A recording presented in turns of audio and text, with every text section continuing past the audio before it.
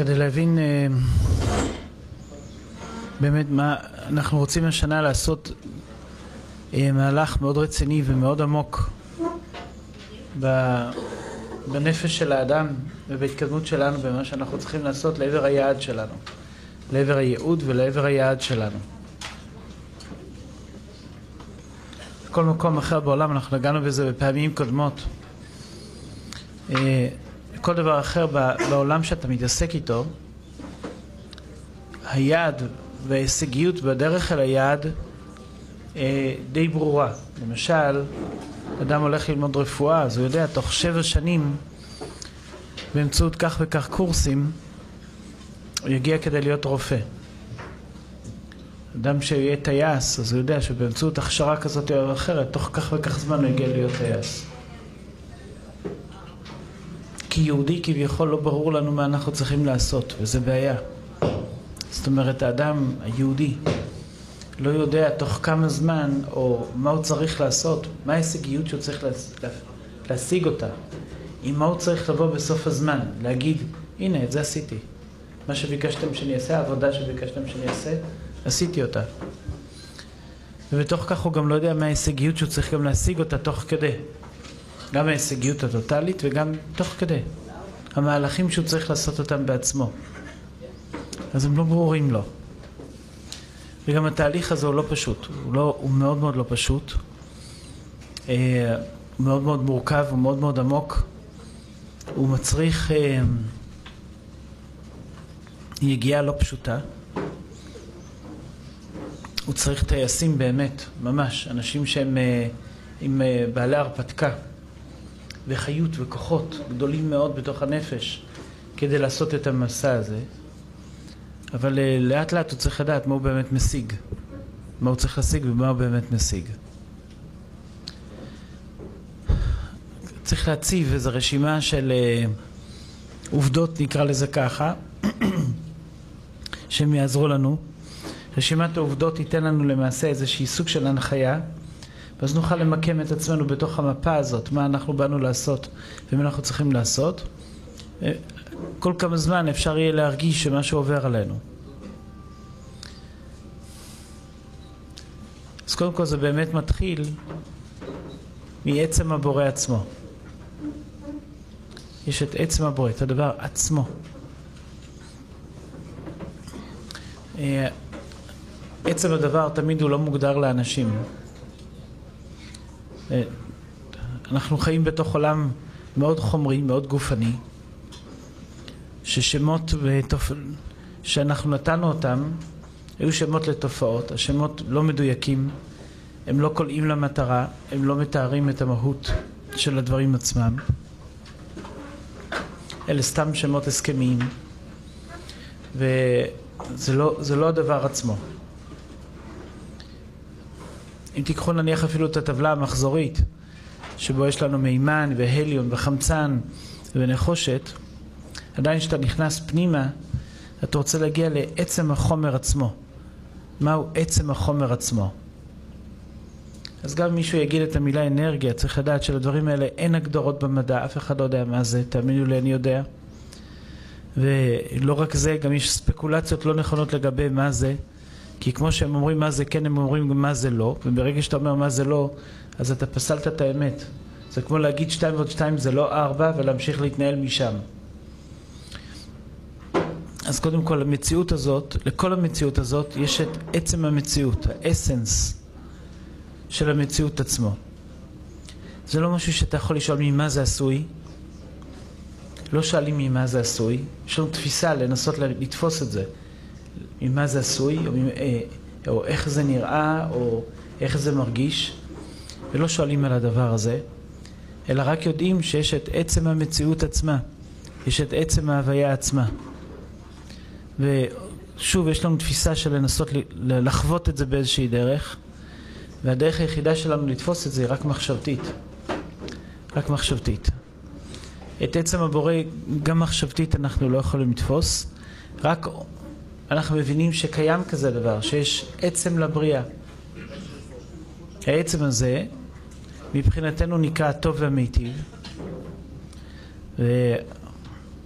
הטוב המיטיב זה אומר שזה לא טוב שיפוטי, אלא זה טוב שאי אפשר לעלות עוד מלמעלה כי זה המקסימום, זה, זה התמצית, זה המקסימום שאליו אתה יכול להגיע, אין, אין, אה, אין משהו יותר אה, מופשט מזה, אין משהו שפתחנו יותר מזה. זהו, זה העצם של הדבר עצמו. העצם הזה, זה נקרא עצמות הבורא, עצם הבורא עצמו. זה עוד אפילו מעל ומעבר ליקום הנגלה והנראה. אנחנו לא מדברים על זה במובנים של מימדים, אם זה גדול או קטן או אינסופי, אנחנו לא מדברים על זה, כי זה לא ככה, אין, אין לזה שם תפיסה של מרחב, אתם צריכים להבין את זה. והעצם הזה נקרא טוב ומיטיב, ואתם תכף תבינו בהמשך מה זה עניין של טוב ומיטיב. התרגום של השפע הגדול הזה הוא אור, אור אינסוף. אור זה כבר משהו שלנו אחר כך יתפרש כמשהו שהוא כן תפיס. זה הערה מחשבתית. אה, כל סוג של הערה זה הבנה. זה הערה בנפש שתבוא לידי ביטוי בצורה של אהבה וסיפוק ועונג ומלאות שאי אפשר להסביר אותה ואי אפשר לתאר אותה. אי אפשר. כי ברגע שהיא תמלא את הנפש, היא תמלא את הנפש. וכשהיא תמלא את הנפש, היא תמלא הכל. הכל. הכל. שום דבר לא יחסר. אז זה מעין איזשהו סוג, אבל הרבה הרבה יותר גבוה ועמוק של שביעה.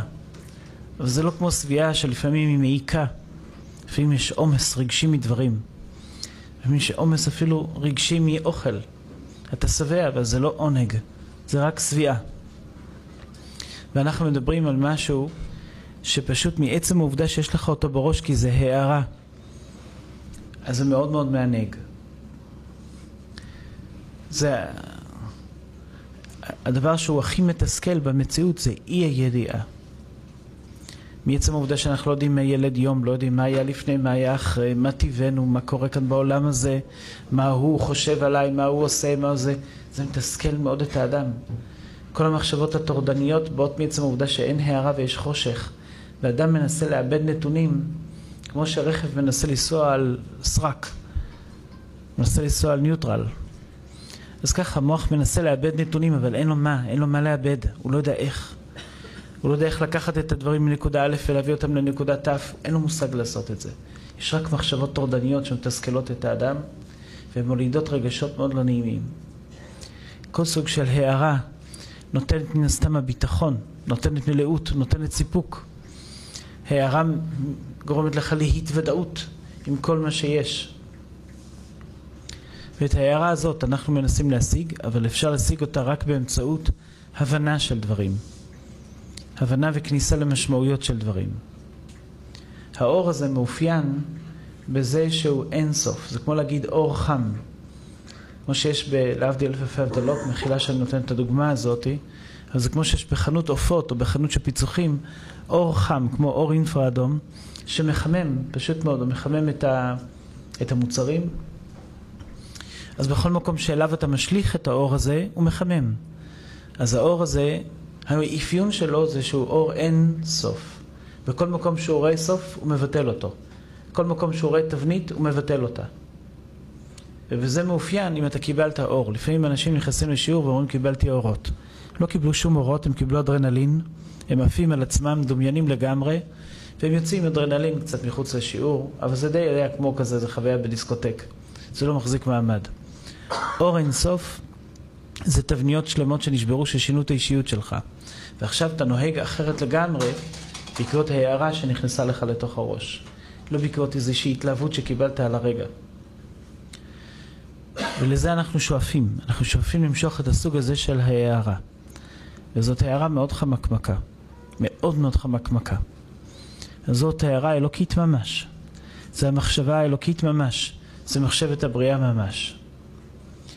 זה מתורגם, שוב, זה תרגום מעצם הבורא לאור, לא סתם אור, אור אינסוף, לאור שמבטל כל סוג של תבנית. זה עכשיו מתורגם לעוד שלושה שלבים. השלב הראשון שנקרא כתר חוכמה בינה זה שלב של המחשבה באדם ולנו יש השגה בזה. באור אין סוף ובעצמות הבורא אין לנו השגה מכיוון שהמחשבות שלנו מעבדות נתונים, ושם אין נתונים לעבד. זה לא נתונים שמאבדים אותם. לשם רק מגיעים, זהו, לאור רק מגיעים. לעצם הבורא רק מגיעים. ומשם אי אפשר לזרוק למטה תיאור, אתה לא יכול להגיד, נו, אתה באור אינסוף תתאר מה אתה רואה. אתה לא יכול, אין דבר כזה, יש רק חוויה וזהו. יש רק התבטלות לדבר וזהו. אבל בקטע חוכמה בינה, שזה בעולם המחשבה, לשם שוב יש תרגום נוסף של השפע של עצם הבורא. והתרגום הזה בא לידי ביטוי במחשבת הייחוד. המחשבה צריכה להיות עסוקה במשהו. המחשבות שלנו לא... כשאנחנו נדבר על תיקון המידות, אנחנו נדבר גם למה מידות יכולות להתקלקל, אבל זה קודם כל מתחיל מעולם המחשבה, והבעיה היא שהמחשבה שלנו מנותבת בצורה לא נכונה. המחשבה זה העיקר, והיא עסוקה בהרס, היא עסוקה בריחול, היא עסוקה בצהובונים, היא עסוקה בלחפור בכל מיני צורות, וכל הבלגן מתחיל מעולם המחשבה. כל הבלגן. לא סתם כתוב יצר מחשבות ליבו רק רק כל היום. וזה הכל מתחיל ממחשבה לא מנותבת. ברגע שהמחשבה לא מנותבת, אתה צריך לדעת. אפילו שאתה נמצא בינך לבינך בבית, יושב ככה, שותה כוס תה, לא עושה כלום, תדע לך, אתה מתחיל רוע. אתה לא מודע לזה, אתה מתחיל רוע, אתה מאבד נתונים בצורה לא נכונה, המחשבה שלך לא מודרכת, אין מצב שהיא לא עובדת, אי אפשר שהמחשבה לא תעבוד, והיא חייבת לעשות אחת מהשניים. או שהיא זוממת, או שהיא מפוחדת, או שהיא מודאגת, או שהיא עמוסה, או כל מיני דברים מן הסגנון הזה, אבל בראש ובראשונה היא לא מודרכת. ואת המחשבה, זה הדבר הכי חשוב לשלוט עליו. הכי חשוב, לשלוט על עולם המחשבה. המחשבה זה, אם אנחנו מדברים במושגים ארציים, זה כמו בית המקדש, אז זה כמו קודש הקודשים. ובתוך קודש הקודשים המחשבה צריכה להיות נקייה.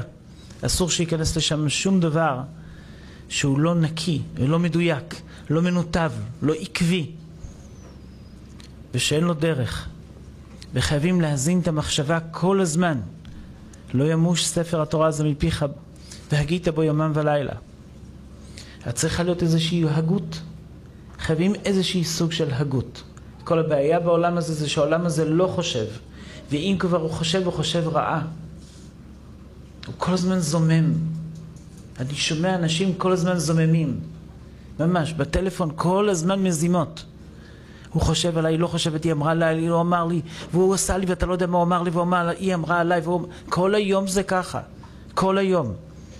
ואני מדבר איתכם גבר לאישה, זוגות נשואים, הורים על הילדים שלהם, חברים על חברות, כל היום זה ככה.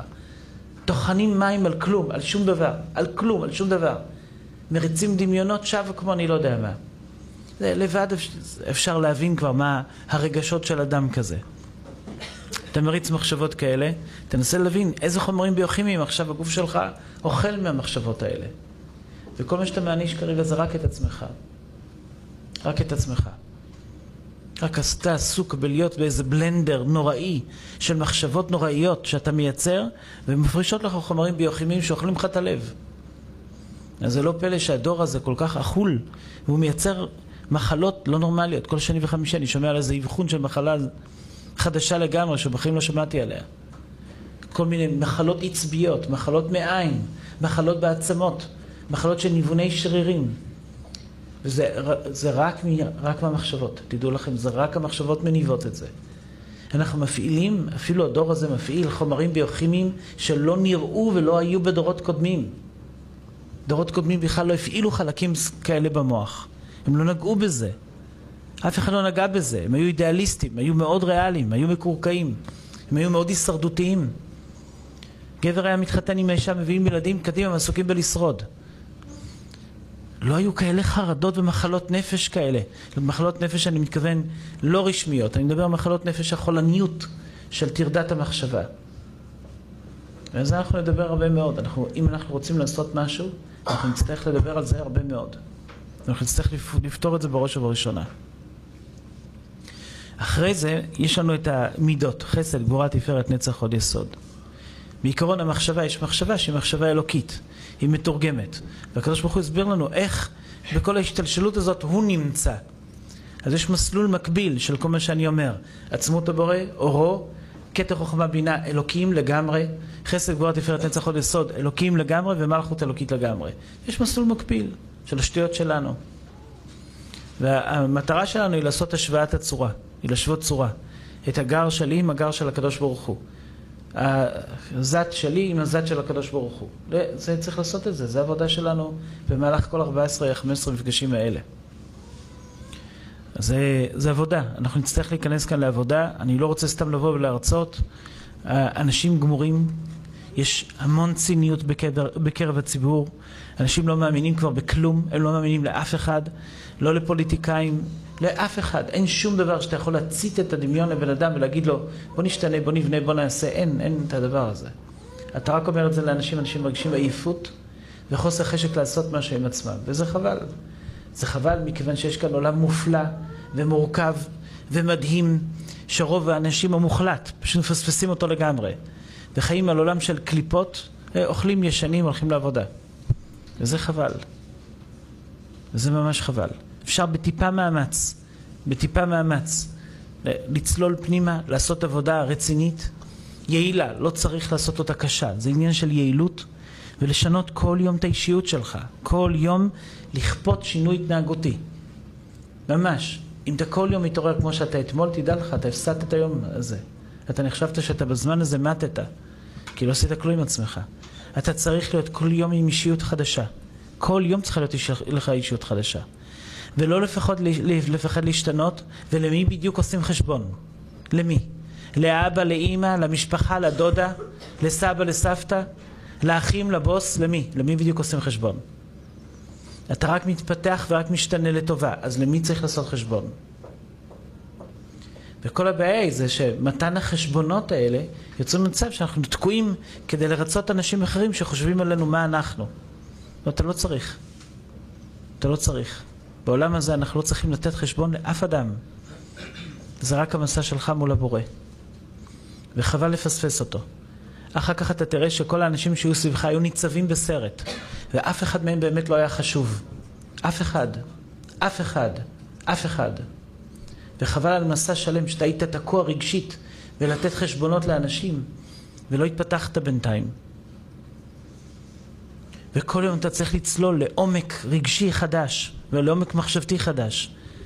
על פי רוב אף אחד לא יבין אותך ואף אחד לא יהיה שם. אם אתה בר מזל, אולי הבן זוג שלך יהיה שם. אולי. צריך מישהו קרוב, קרוב, קרוב, קרוב, קרוב, קרוב. אולי. אבל אם לא, אתה לבד. אתה צריך לבנות מחילה כל כך עמוקה, שמצד השני יהיה רק הבורא. ולכן זה מסע אישי שצריך להיכנס אליו, להיכנס אליו ברצינות ולחפור בו. כי זה באמת מסע שרק הרציניים עברו שם. רבי שמעון אמר, ראיתי בני עלייה והם מועטים. והוא התכוון על מעט הצדיקים שהיו רציניים בעבודה ועשו את הבלתי יאומן. כל יום השתנו, כל יום השתנו.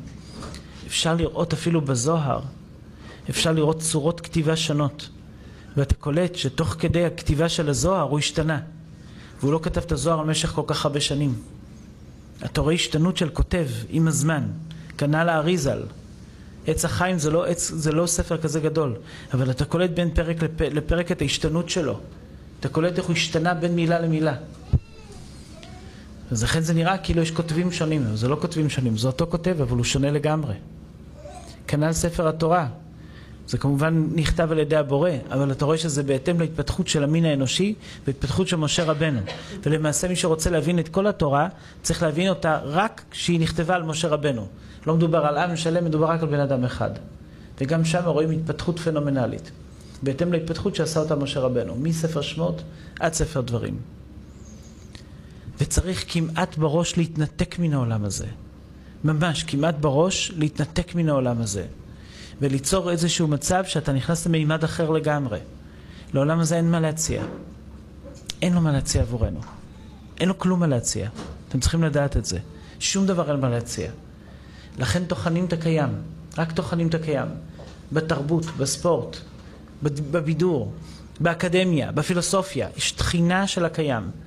כי טוחנים קליפות. אתה טוחן משהו שאתה החלטת, אתה מסתכל על משהו, אתה מאופנת על ידו, שזה המציאות הזאת, אתה טוחן אותו מיליון פעם ולא יוצא לך מזה שום דבר, רק ריקנות. בזמן שיש מימדים אחרים, ששם כל החיות האמיתית נמצאת. העולם הזה הוא קליפה, לכן אין מה לטחון קליפה.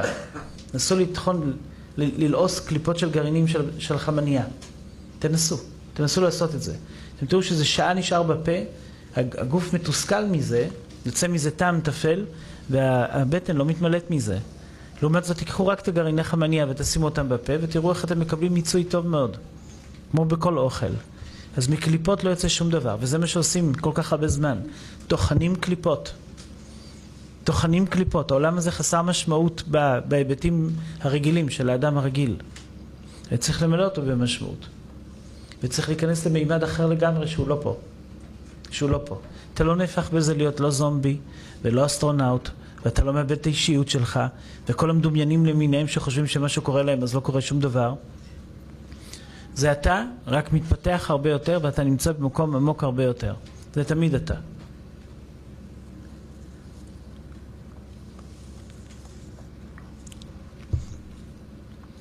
אז העולם של המידות, חסד, גבורה, תפארת, נצח, עוד יסוד, זה שוב, זה תרגום. זה תרגום של ההטבה ושל השפע, פשוט לעולם המידות. מידות זה לא בדיוק רגשות. מידות זה התנהלות. חסד זה התנהלות, וזה לא בא בלי שכל ובלי דעת. גבורה זה התנהלות, ואי אפשר להנהיג את הגבורה בלא דעת. וכנ"ל רחמים, כנ"ל נצח, כנ"ל הוד, כנ"ל יסוד. זה התנהלות. אבל זה התנהלות גם כן עם הרבה רגשות. הרגשות כלולות במידות. הם נקראים מידות כשמם כן הם, זה מידה. והמטרה היא לפרוץ את המידות לגמרי, שזה יהיה אין מידות, אור אין מידות. והדבר האחרון, הספירה האחרונה זה מלכות, זה איך זה מתבטא פיזית, בגוף. וזה שוב, זה הבנה של מהו הגוף. זה שוב הבנה של מה זה הגוף בכלל. ואנשים לא יודעים כמה שהתורה מתייחסת מאוד מאוד מאוד ברצינות לגוף. היא מתייחסת אליו כאילו הוא בעצמו בית המקדש. ועשו לי מקדש ושכנתי בתוכם, בתוך כל אחד ואחד מהם. וצריך להתייחס מאוד ברצינות לגוף, מבחינה בריאותית, בריאות הנפש, הבריאות הפיזית, מבחינת הפעילות, התנועות של הגוף, כל מה שהגוף הזה צריך לעשות. ההערה צריכה לפגוע בגוף ולזכך אותו. ביהדות אין לנו כמו באומות העולם חלוקה של גוף ונפש, של גוף זה בזוי וצריך לדרוס אותו, ואילו את הנפש צריך להאדיר ולעשות אותה טרנסדנטלית. זה אין לנו את הדבר הזה, בדיוק הפוך. המטרה היא להכניס את כל ההערה לנפש, וגם דרך אגב זה כל המסע שלנו. המקובלים מסבירים שבמהלך הששת אלפים שנה אין כוח לאדם הממוצע להכניס הערה לתוך הגוף, ולכן הוא מת, הוא רק באמצעות הגוף אנחנו משיגים את התודעה, נפש, רוח, נשמה, חיה יחידה, מתים בעולם הבא, זה בדיוק מה שאנחנו עושים, מכניסים באמצעות ההערה הזאת שהשגנו אותה, באמצעות המדרגות הרוחניות, כן מכניסים את כל ההערה בחזרה לגוף. ואז גם הגוף מתתקן.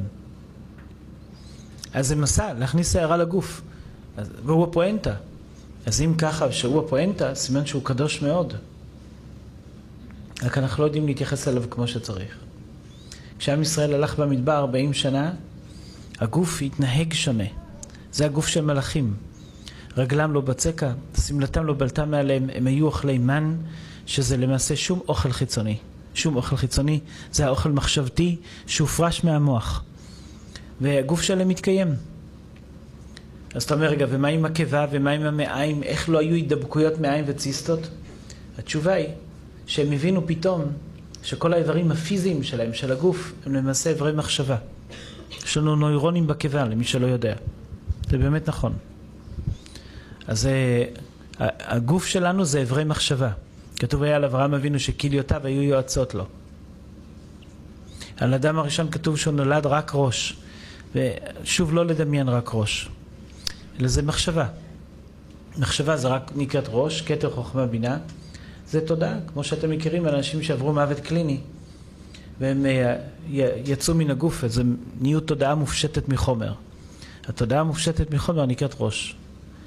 אחר כך, אחרי החטא, הייתה מה שנקרא נשירת איברים, שאז נוצר הצוואר, ואז שאר איברי הגוף, אבל נשירת האיברים זה, שוב, כל, כל כוחות המחשבה פשוט הוקרשו כדי להיראות הגוף הזה, אבל למעשה הגוף הזה נוצר מלכתחילה לחשוב באמצעותו, ולא להזיז דברים באמצעותו. קל עצמותיי תאמרנה, השם מי כמוך.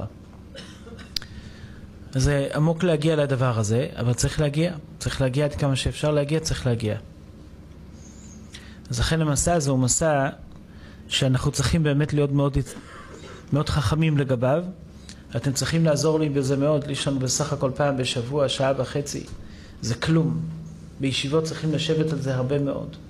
בהגות צריך להגות בזה הרבה מאוד. אנחנו יושבים מול ספרים יומם ולילה. ממש, אפילו ישנים על הספר. ולא קמים, לפעמים פסקה אחת אתה יכול להתבונן בשעה. שעה פסקה אחת. רק לאכול אותה ולבלוע אותה ולחיות אותה.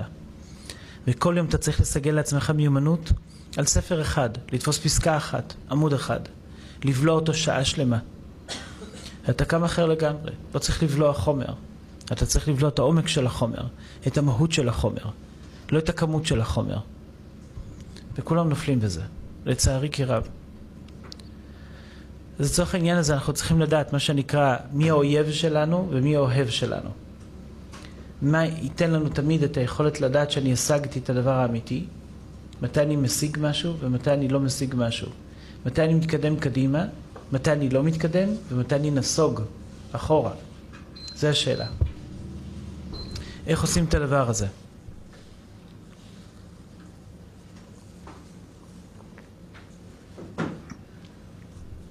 אז אני אביא עוד מצגת ואני אראה את זה ואני אציג את זה, אבל עד אז אני רוצה להסביר את, ה, את ההסתכלות הנכונה, את המיפוי של העולם הזה. ישנו מקום שבו כולנו מתחברים, והכל אחד. בעיניים, מה שאנחנו רואים, גופים שונים. כל אחד מרגיש את עצמו אינדיבידום שלא תלוי באף אחד אחר. אבל אם אנחנו נבדוק את זה אפילו בעיני המדע, אנחנו נמצא מקום עכשיו שבו כולנו מחוברים. אנחנו פשוט רק לא מודעים לזה. שוב, שכל אחד יכול להסתכל על התאים של הגוף שלו, בתאים של הגוף שלו יש את הגוף שלו, כל אחד נמצא במקום שבו הוא נמצא. אם נבודד, ניקח רק את אחד התאים ונתבונן בגרעין התא. נראה ששם ממוקמים הכרומוזומים. הם מורכבים מסולמות של DNA. סולמות ה-DNA מורכבות ממולקולות. אלה מורכבים מאטומים. עד כאן, אתה פה, אני שם, אין קשר בינינו.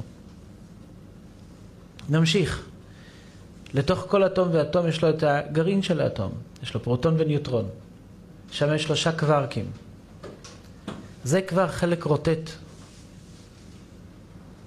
מתחת לזה יש את המיתרים, שזה ממש רק רטט, תווך רוטט. ומתחת לזה יש את השדה המאוחד. בשדה המאוחד כולנו מחוברים וכולנו נוגעים אחד בשני. אנחנו מערכת פתוחה, לא מערכת סגורה. בגלל שאנחנו רואים את עצמנו כמו גוש בשר, אז נדמה לנו כל אחד שכאילו הוא גוש בשר.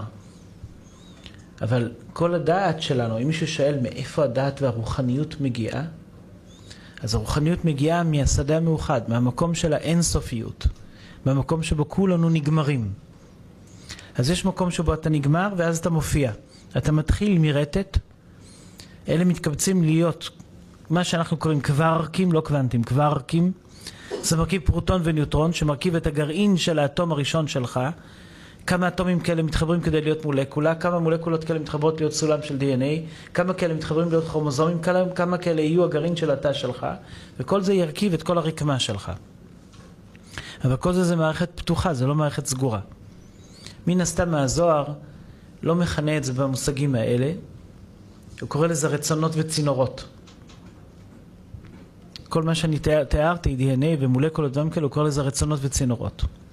אבל כל זה עדיין פתוח, כי אם אתה פורט כל מבנה, המבנה הזה שלנו מאוד מורכב, אבל הוא מורכב, איך הוא מורכב? מהמון חלקים, המון חוליות כמוהו. זה לא גוש הומוגני. כל דבר בעולם, למדו שהוא פשוט מורכב מהמון המון פרטים, המון גולות. והמטרה שלהם הייתה לפנות לכל גולה וגולה. ואז כשפנו לגולה עצמה ראו שיש בפנים עוד פרטים. זה מורכב מעוד חלקיקים, כמו כדורי ביליארד, וגם אותם אפשר להגיע לעוד חלקיקים, וגם מהם אפשר להגיע לעוד חלקיקים. וככה אתה פותח ואתה פותח ואתה פותח ואתה פותח עד שאתה מגיע לכלום. אז אתה אומר, רגע, איך מכלום נוצר משהו? ואיך המשהו הזה שתכלס הוא באמת כלום, זה כאילו כמו גרגירים שאפשר להגדיר אותם גרגירים של עפר, איך זה חושב, איך זה אוהב, איך זה חי, איך זה מתקשר, איך זה מתבונן ומודע לעצמו, חוקר את היקום, חוקר את עצמו והוא מודע לעצמו והוא מודע למה שהוא. הזניחו לגמרי את המונח הכי חשוב שקיים ביקום והכי דומיננטי, תודעה. כל בני אנוש יש להם תודעה, לכל החיות יש תודעה, לכל הצמחים יש תודעה, ומן הסתם זה מתחיל כבר מרמה של דומם, כי הדומם נענה לתודעה. כן, לכל, כל ניסויים במכניקת הקוונטים, ההיענות לדומם לתודעה היא פשוטה לגמרי. אז מן הסתם זה הכל תודעה. אז את הדבר הבסיסי ביותר שאנחנו צריכים להתעסק איתו, זה אין לו קיים בכלל במדע. זה מוזנח לגמרי. אבל צריך לדעת, שם הכל מונח. במבנים האלה, מהמבנה הכי גס של המון רקמות בבת אחת שמרכיבות גוף, שם הנפש נמצאת. דרגת תודעה נמוכה, כי זה בא אחד על חשבון השני. ככל שיש שם יותר גשמיות, יש שם פחות רוחניות. רוחניות זה הכוונה מחשבתיות, תודעה. תודעה יותר סגורה, יותר מצומצמת. ככל שאתה יותר פורט את המציאות, ואתה יורד למציאות היותר זכה שלה, שם התודעה הולכת וגדלה. לכן התודעה המקסימלית נמצאת מן הסתם בשדה המאוחד. בשדה המאוחד זה בחינת אין סוף. למה הוא נקרא שדה מאוחד? כי זה אין סוף, הכל אחד. באין סוף כולנו נפגשים. זה המקום שבו כולנו מחוברים, חבריה. כולנו מחוברים. עכשיו כולנו מחוברים. עכשיו, מה נפקא מינה?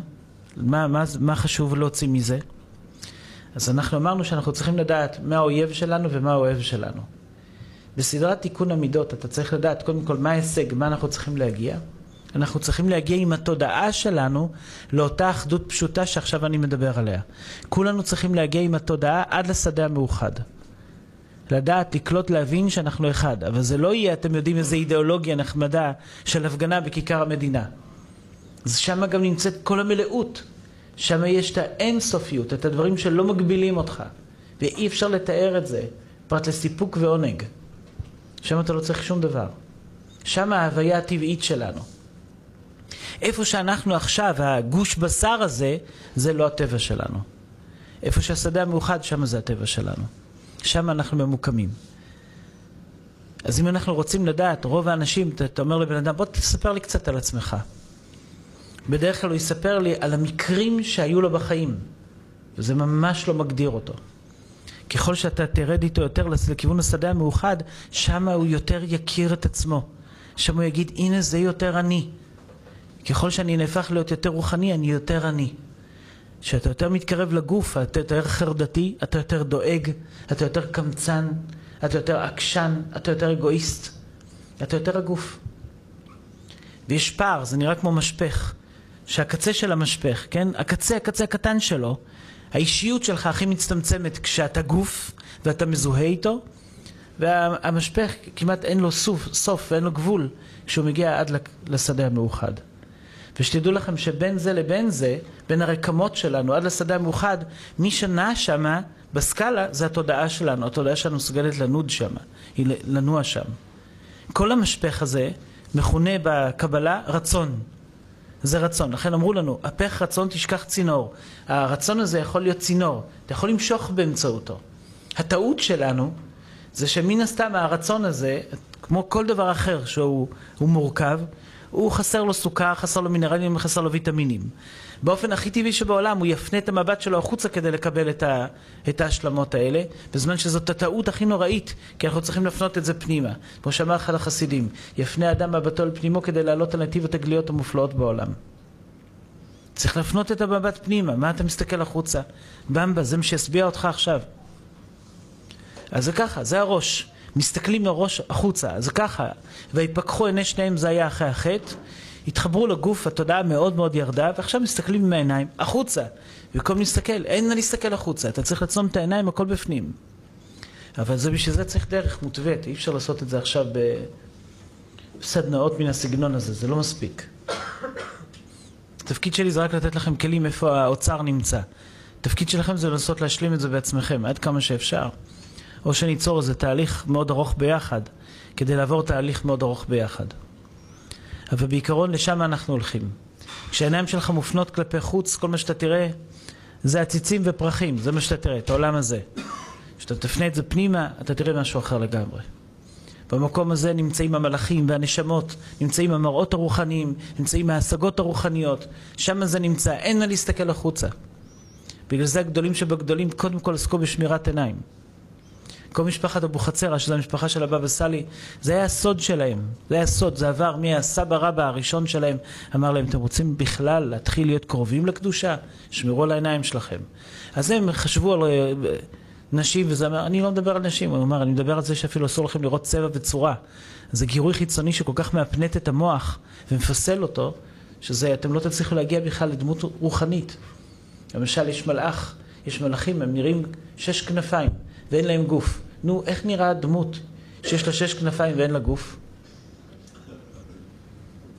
אז אי אפשר לדמיין, זה גם לא אורקולי, זה גם לא אורקולי, ת, לא לדמיין תמונה כזאת, לא לדמיין שיש מחשבה יצירתית שתופסת מעין יצור, יצור כזה, כי זה לא יצור עם גוף, זה לא ישות אה, שאפשר לראות אותה, זה הבנה.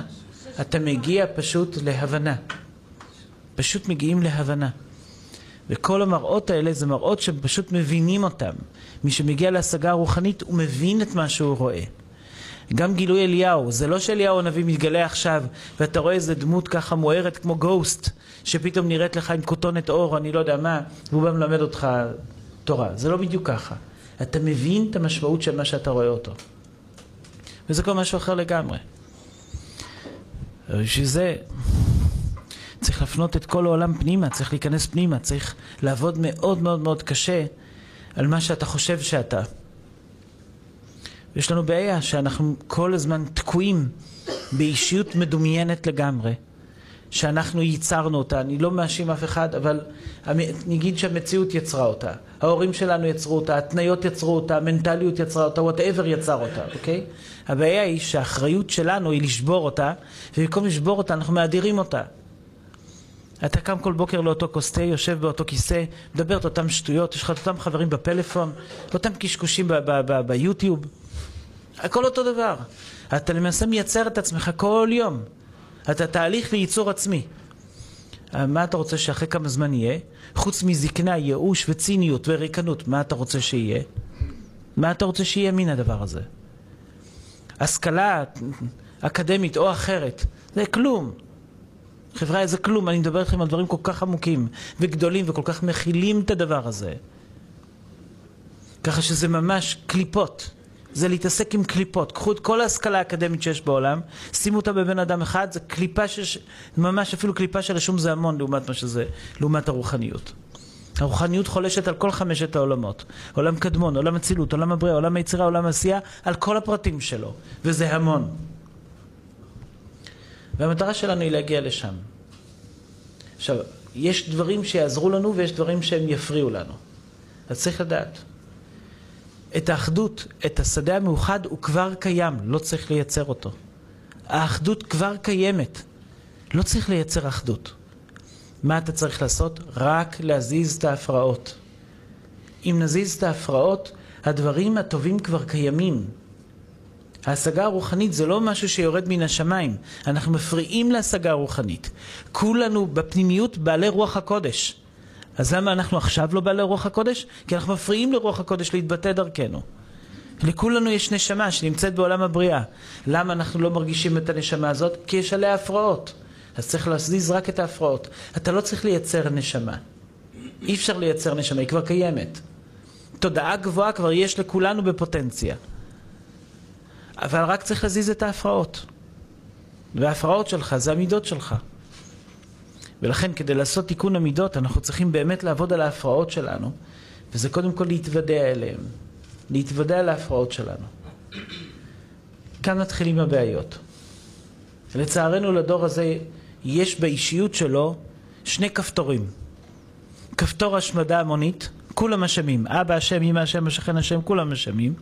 אחר כך אתה אומר לו, לא, זה הכל אתה. אז הוא לוחץ על כפתור ההשמדה העצמית. זה הכפתור, זה הכפתור השני. אז או שיש לאנשים השמדה המונית, או שיש להם השמדה עצמית. וזה בלתי אפשרי לעבוד ככה בצורה כזאת. והנקודה היא כאן זה שאתה לא צריך ללכת עכשיו עם רגשות אשם. כתוב, הוא עשנו ולא אנחנו. דרך אגב, הזוהר כותב לא באלף. הוא כותב לא באלף. בסידור כתוב בוו. הוא עשנו ולא. לא אנחנו עבורים, for him. ולא אנחנו. זה, אבל הזוהר כותב לא עם א', אומר, הוא עשנו ולא אנחנו, כדי להסביר לך שאתה מייצר את עצמך, ואתה כן עושה את עצמך מדי יום. ואנשים, בגלל שהם חושבים שהם לא פראיירים ואף אחד לא יתחמן אותם, והם יודעים כבר לקלוט את המציאות, אז הם כל יום עסוקים בלייצר את האישיות שלהם. ולפתוח אנטנות ל-360 מעלות שהם לא צריכים, מתעסקים בחיים של אנשים שהם לא צריכים, נכנסים לדלת אמותיו של בן אדם שהם לא צריכים, מתעסקים בכל העולם חוץ מבעצמם. בסוף הזמן אתם יודעים מה הם יוצאים? סבתא רכלנית וממורמרת. זה מה שהם יוצאים. ואתה אומר לי, ומה השגת כל החיים? אה, אני ידעתי כל מה שקורה. אני לא יודע כלום, שמשמור, שירחם על אנשים כאלה. תדעו לכם, מבזבזים את כל המציאות שלהם על כלום, דמיונות. זה חבל, זה לא ככה, זה לא, זה לא דרכם של היהודים. הדרך של היהודי זה שבכלל תעלים את העיניים להסתכל החוצה, אין מה להסתכל החוצה. תתחיל לעבוד על עצמך, תפתח את עצמך. ולא מה זה משנה לך מה אנשים אחרים יגידו. מה אכפת לנו שהעולם מתפוצץ בחוץ? מיליון פעם שיתפוצץ. אמא, אבא, הילדים, כולם. תפתח את האישיות שלך. מאוד חשוב לנסות להבין את זה. הנתינת חשבון לאנשים אחרים היא זאת שמונעת מאיתנו לזוז מילימטר, תדעו לכם. אז יבואו אנשים ויגידו, מה, השתנית? מה, אתה לא, לא נראית לי אותו דבר. לפני שבוע דיברת אחרת. תגידו, מזל טוב. תדע לך, עכשיו נתת לי את הפידבק הכי טוב. תודה שאתה מאשרר את השינוי שלי. לא ידעתי אם השתניתי, עכשיו אתה אומר לי. ברוך השם, ככה זה צריך להיות. מחילה שאני אומר את הדברים האלה, וזה כמובן, מי שמכיר אותי יודע שזה לא מצביע על התנהגות אה, מוזרה או פנאטית או קיצונית, רק על התפתחות. רק על התפתחות, אנחנו כל הזמן מדברים רק על התפתחות. ואתה רואה את האנשים לא מתפתחים, למה? כי הוא עוצר אותו, וההוא עוצר אותו, וההוא יחשוב, ומה יגידו ומה יעשו. יגידו, תמיד יגידו, לעולם יגידו. אתה תהיה מושלם שבמושלמים יגידו. על הקדוש ברוך הוא לא מדברים, גם על הקדוש ברוך הוא מדברים. אז מי אתה? נו, אז זהו, אז אין מה לעשות. אז יגידו, אתה תמשיך לפעול ולחיות. תעזוב את האנשים האחרים. כן? הזמן כבר יעשה את שלו. זו נקודה מאוד חשובה להבין אותה, שאת הטוב אנחנו לא מייצרים, הוא כבר קיים. האחד כבר קיים. האהבה קיימת, הכל קיים. אנחנו לא חווים את זה כי אנחנו מפריעים לזה. אז אנחנו רק צריכים לדעת שאנחנו צריכים להסיר את ההפרעות. זה כמו דף לבן שיש עליו דוקים, ככה, אחד על השני, שוכבים. ואז אתה שואל, איפה הדף הלבן? אז אומרים לך, תסיר דוק דוק, תסיר תסביך תסביך, תסיר את כל הדברים האלה, בסוף אתה תראה דף לבן. האינסוף כבר נמצא שם למטה. רק תסיר את כל ההפרעות. עכשיו, כדי להסיר את כל ההפרעות, אמרנו, רק לא להזדהות. לא להזדהות עם כל הדברים האלה, לא להזדהות עם כל התסביכים האלה. רק לדעת, השם יצר כקפסולה אותך כאינדיבידום, ואמר לך, עשה טובה, תעבוד ותגלה אותי, תעשה את כל התהליך, את כל המסע, ממך אליי. וכל המסע הזה ממך אליי, זה בדיוק מה שהקדוש ברוך הוא רצה לעשות, להוציא לאור שלמות פעולותיו ושמותיו וכינוייו. שם אתה תגלה את המילה רחמים, שם אתה תגלה את המילה הודיה, שם אתה תגלה את המילה חוכמה, שם אתה תגלה את המילה חסד, שם אתה תגלה הכל. בתהליך, במסע הזה אתה תגלה את הכל. כי כל דבר כזה, כל דוק שאתה תסיר אותו, אתה תגיד, הרווחה הזאת זה בגלל כך וכך. אחר כך אתה תסיר עוד דוק, ואז אתה תגיד, הרווחה הזאת היא בגלל כך וכך. ולאט לאט לאט לאט אתה תבין ואתה תתוודע אל המופלאות שכבר קיימת. היא כבר קיימת. אנשים חולים, כל כך מוציאים כסף על בריאות. הבריאות כבר קיימת. מחלה זה הפרעה, אתה רק צריך להסיר את ההפרעה. בריאות זה כבר משהו שקיים. אתה לא יכול ללכת לרופא כשאתה בריא ולהגיד לו, אתה, אולי אתה יכול לעשות אותי יותר בריא? אני אשלם אותך, לשלם לך, תעשה אותי יותר בריא. אי אפשר לעשות אותך יותר בריא. ישנם פרמטרים שקובעים שאתה בריא. ואם הפרמטרים האלה קיימים, אז אתה בריא, אי אפשר להוסיף על זה. אז אם אתה חולה, זה רק בגלל שיש הפרעה על זה. אז מה אתה צריך לעשות? רק להסיר את ההפרעה על הבריאות. בריאות כבר קיימת. אור קיים, שפע קיים. אנחנו לא חווים אותו. אנחנו מפספסים את כל זה. אז לכן אנחנו צריכים לעמול קשה כדי להסיר את זה.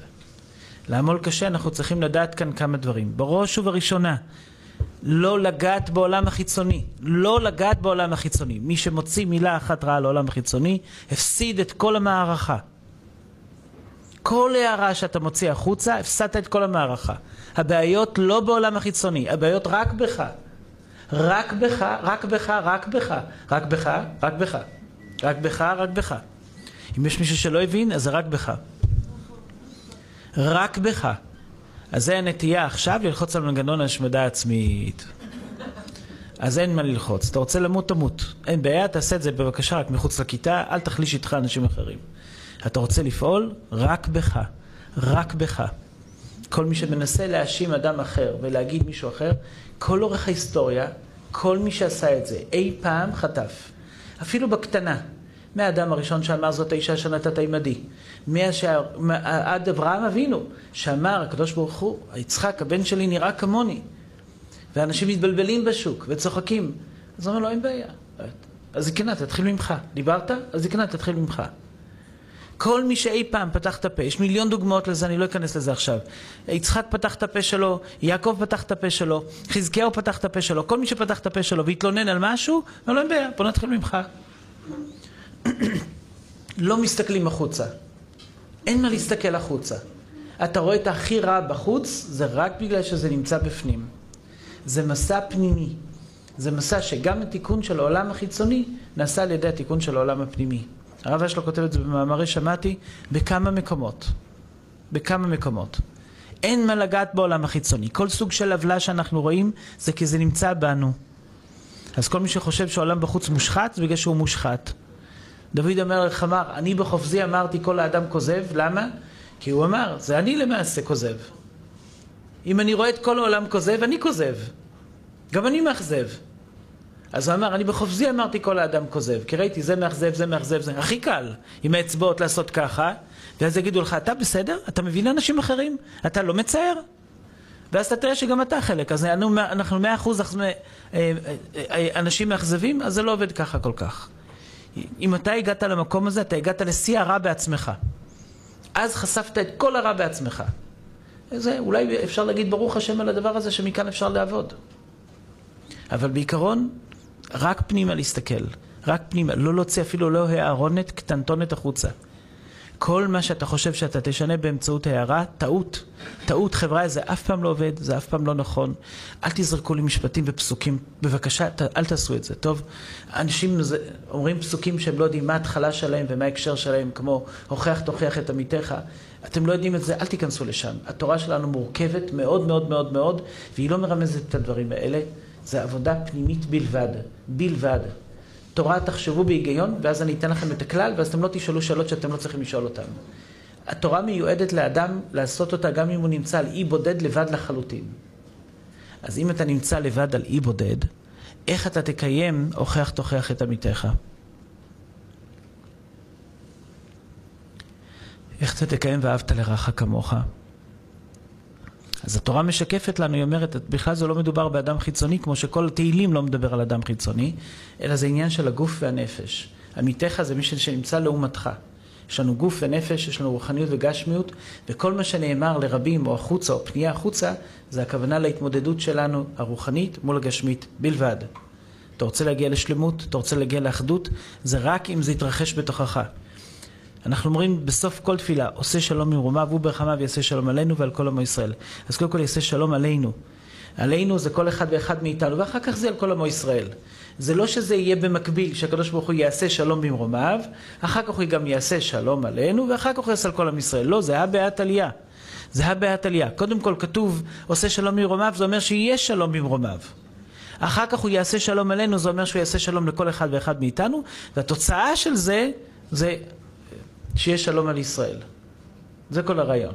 יוצא שכל מה שאנחנו צריכים לעשות זה להגיע לשלמות ולשלום בינינו לבין עצמנו. כל אחד במקום שלו. אנחנו סוכסכים כל אחד עם עצמו, שיהיה ברור לגמרי. אנחנו לא סובלים את עצמנו. כל שנאה היא שנאה עצמית, שיהיה ברור. כל מה שאתה מאיר, אתה מאיר על עצמך. אתה לא מודע לזה. אדם שאומר לבן אדם אחר, אתה יודע, אתה אגואיסט, אתה בסוף חושב רק על עצמך, הוא כזה. שיהיה לו ברור. כל מה שאתה מוציא על מישהו אחר, זה, אתה, זה נמצא בתוכך. זה פשוט לגמרי הדבר הזה, אפילו לא צריך להגיד את זה. אז ככה שכשאנשים מתלוננים בטלפון, אולי שישמעו את עצמם תוך כדי זה, ואחר כך יפנימו, יעמדו מול הפרצוף שלהם במראה, ויגידו, זה אני. אבל כמו שאנחנו אמרנו, זה לא מיועד בשביל ללחוץ על מנגנון ההשמדה עצמית, זה מיועד לעבודה, זה מסע. זה מסע. מה שיפה במסע הזה, זה המסע שהכי קרוב אליך בנפש. זה המסע שאתה גם הכי מרגיש אותו על עצמך. זה המסע שאתה הכי יכול להתבונן בו, שאתה הכי יכול לזכור אותו. זה המסע הכי מסקרן, כי הוא גם נוגע לך אישית. אנחנו הרי לא נזוז אם זה לא נוגע לנו. אם לא תהיה תועלתניות, אנחנו לא נזוז. ולמעשה כל מה שאנחנו צריכים לפצח בעולם הזה זה רק את עצמנו. אם נצליח לעשות את הפיצוח של הדבר הזה, אם אדם יפצח את עצמו, אז הוא יגיע. צדיקים גדולים מאוד הגיעו לדרגה שהם ראו את המשיח כמו הבעל שם טוב, כמו רבי שמעון בר יוחאי, כמו הרבה מאוד צדיקים אחרים. עכשיו, מבחינתם, דרך אגב, הגאולה הייתה יכולה להגיע. פשוט העם לא היה מוכן. אבל הם היו מוכנים. הם מבחינתם הגיעו לאן שהיה צריך להגיע. ככה שזה לא, לאו דווקא תלוי זמן, תלוי זה שאנשים מחכים שהמשיח יגיע. אתה יכול לעשות את האצת התהליכים בינך ובינך. לכן תיקון המידות שאנחנו צריכים לעשות אותם, הם תיקון מידות שאנחנו נלמד בטור, מטבע הדברים, אבל עובדים על הכל במקביל. ואני רק רוצה להגיד, אי אפשר לעשות את זה בלי ספר. אי אפשר. אי אפשר לטחון מים. אי אפשר. אם מחר בבוקר אתם תגידו, טוב, וואלה, הרב אמר איזה כמה דברים חשובים, בואו ניקח, ננסה לעבוד. אי אפשר בלי ספר. אי אפשר. אי אפשר. ישכחו מזה. אי אפשר בלי שאנחנו נעשה את הדברים כמו שהתורה ציוותה. אי אפשר, תאמינו לי, ניסיתי. הייתי בהודו, נסעתי לשם, הייתי שם המון המון זמן. לא הייתה סדנה, לא היה דת, לא הייתה כת, שלא הפכתי אותה כדי לנסות. עד היום אני זוכר אותם, אני זוכר משפטים שלמים. פילוסופיה מעברי, מערבית, מה שאתם רוצים. זה לטחון מים. זה לטחון מים, זה לא מגיע למקומות המתאימים. גם ויפסנה, שעסקתי, הייתי מדריך לויפסנה.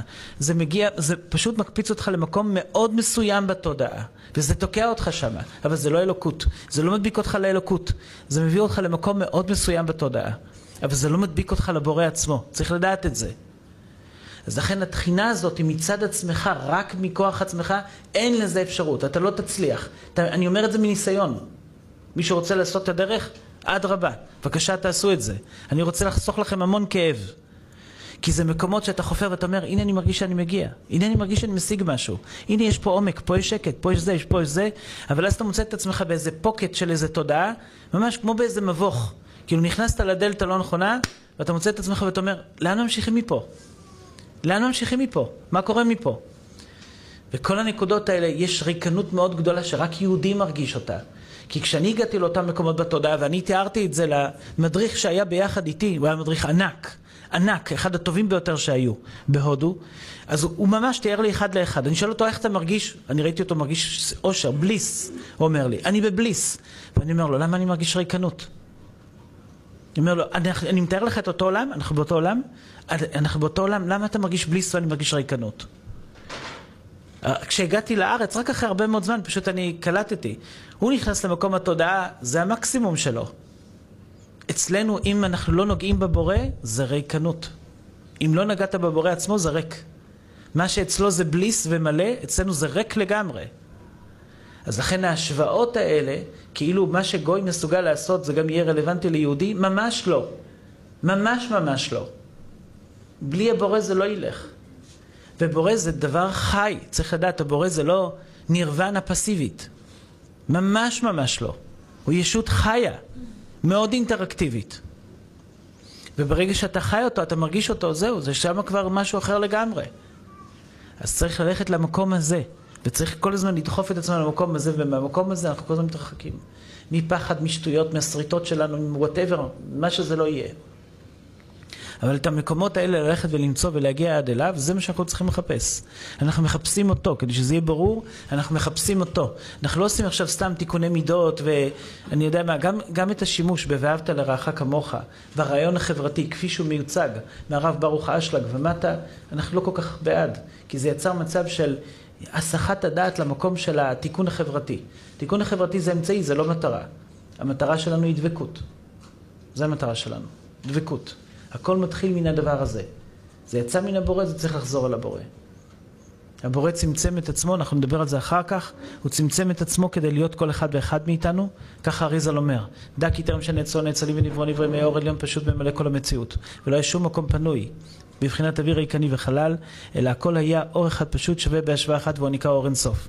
וכאשר עלה ברצונו הפשוט לברוא על הנבראים ולהציל לנצלים, להוציא לאור שלמות פעולותיו ושמותיו וכינוייו, הנה אז צמצם את עצמו בנקודה אמצעית אשר בו באמצע ממש. האריזל אמר, הצמצום הזה הוא כל אחד מאיתנו. כל אחד מאיתנו הוא צמצום של הבורא.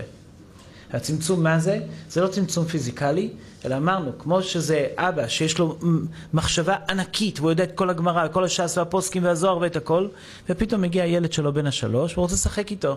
אז הוא מצמצם את עצמו לילד, הוא יורד, משחק איתו על ארבע ממש, מתגלגל, צוחק איתו וזה, נהיה כמו ילד בן שלוש. אבל בא בעת, הוא גם האבא הענק. אז אותו דבר, הקדוש ברוך הוא צמצם את עצמו כדי להיות כל אחד ואחד מאיתנו, אבל בא בעת הוא גם הבורא. זאת אומרת, הוא יצר סקאלה של תודעה שיורדת עד למקום שאנחנו נמצאים בה, וזה הצמצום איפה שאנחנו נמצאים, והתפקיד שלנו זה רק לחזור בחזרה אליו. והוא יצר סקאלה, יש סולם לחזור עד אליו. אבל בדרך, בדרך יש המון סכנות, יש המון פוקטים של תודעה. המון פוקטים, המון כיסי תודעה. וחלקם גבוהים, חלקם גבוהים. במדיטציה אתה מגיע למקום מאוד גבוה, אבל זה לא המקום האמיתי. זה ממש לא המקום האמיתי, זה ממש לא השורש. וזה הבעיה. דרך אגב, אני החלפתי איזה כמה מורים וכמה מדריכים. נסעתי לתאילנד, ובתאילנד גם כן הייתי שם איזה אחד. אני הייתי מוכן לשלם 30 אלף שקל. אני לקחתי ממש 30 אלף שקל, אמרתי, אני רוצה את המדריך הכי טוב, את המדריך הכי אמיתי. כשנכנסתי לאותו מקום ביחד איתו, ואני שאלתי אותו גם כן, אמרתי לו, אני רוצה לתאר, אני רוצה לדעת שאני נמצא באותו מקום. הוא שאל אותי כמה חידות זן. עניתי לו, שאלתי אותו אם זה, זה תשובות, אומר לי כן.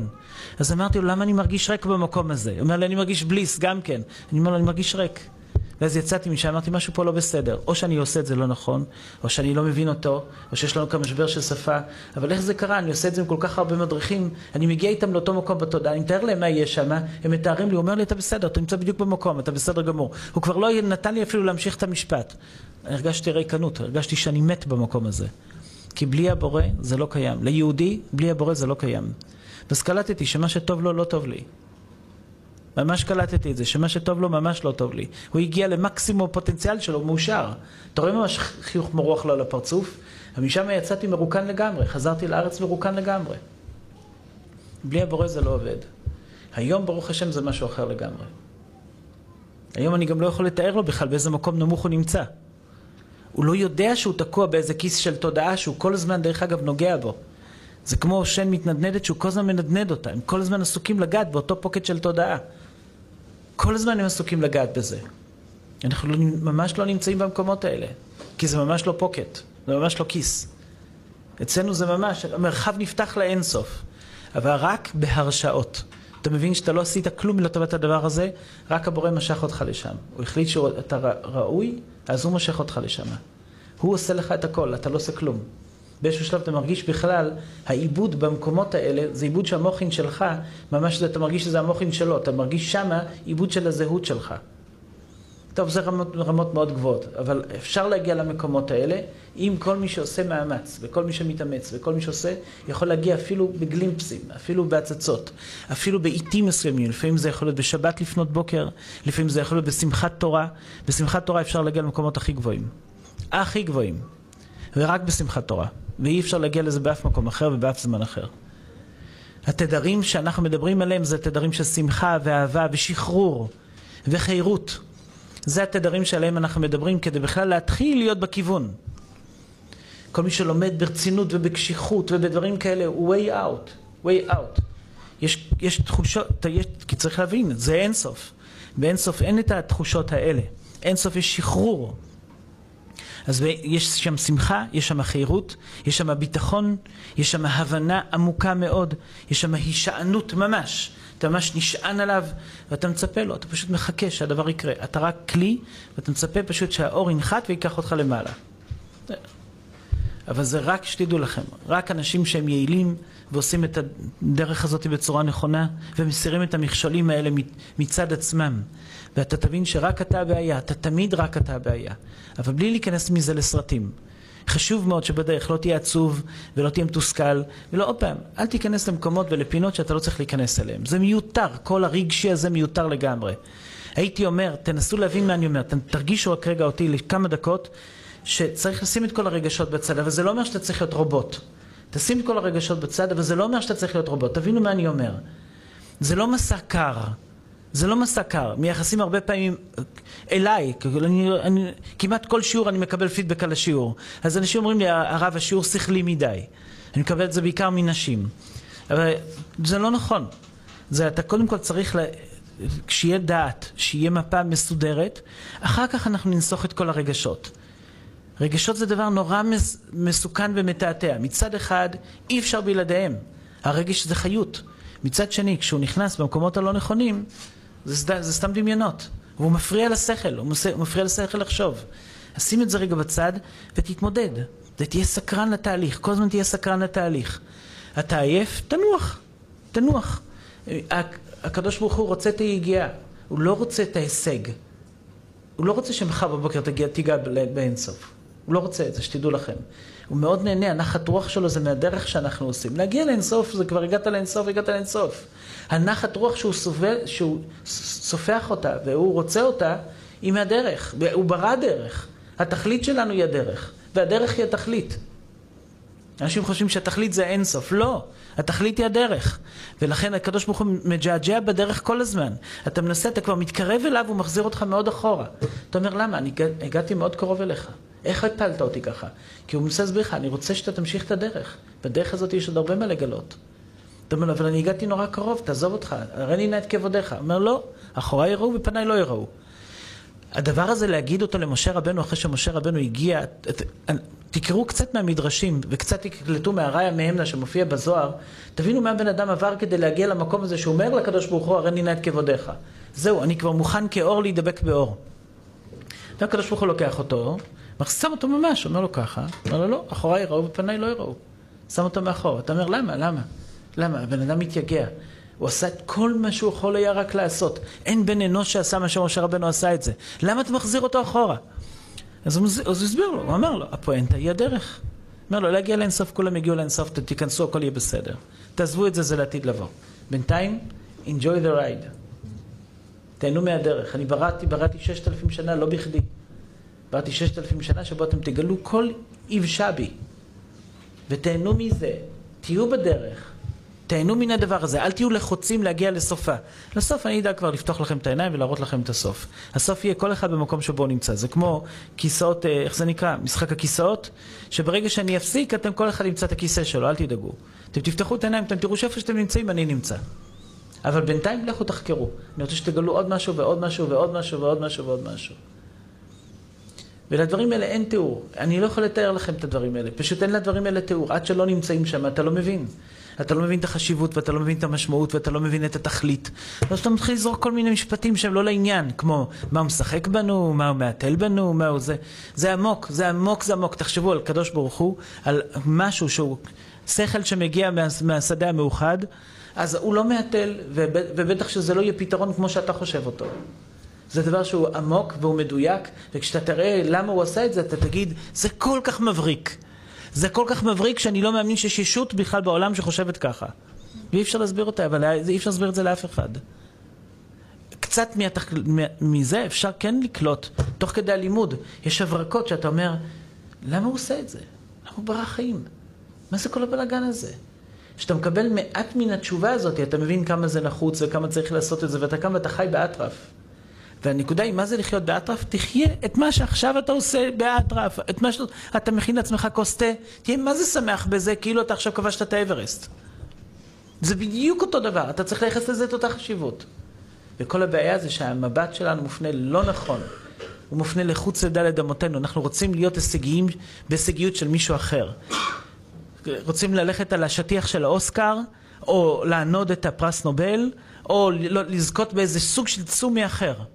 וחושבים שמסעודה מירוחם, שמכינה עכשיו קוסקוס לילדים שלה, היא לא עושה כלום. היא לא עושה כלום. אבל המעשה שלה הוא כמו של כהן בבית המקדש, והוא מפורסם בשמיים באותה מידה. ואילו דווקא אלה שהולכים על האוסקר, דווקא אלה הכי פחות.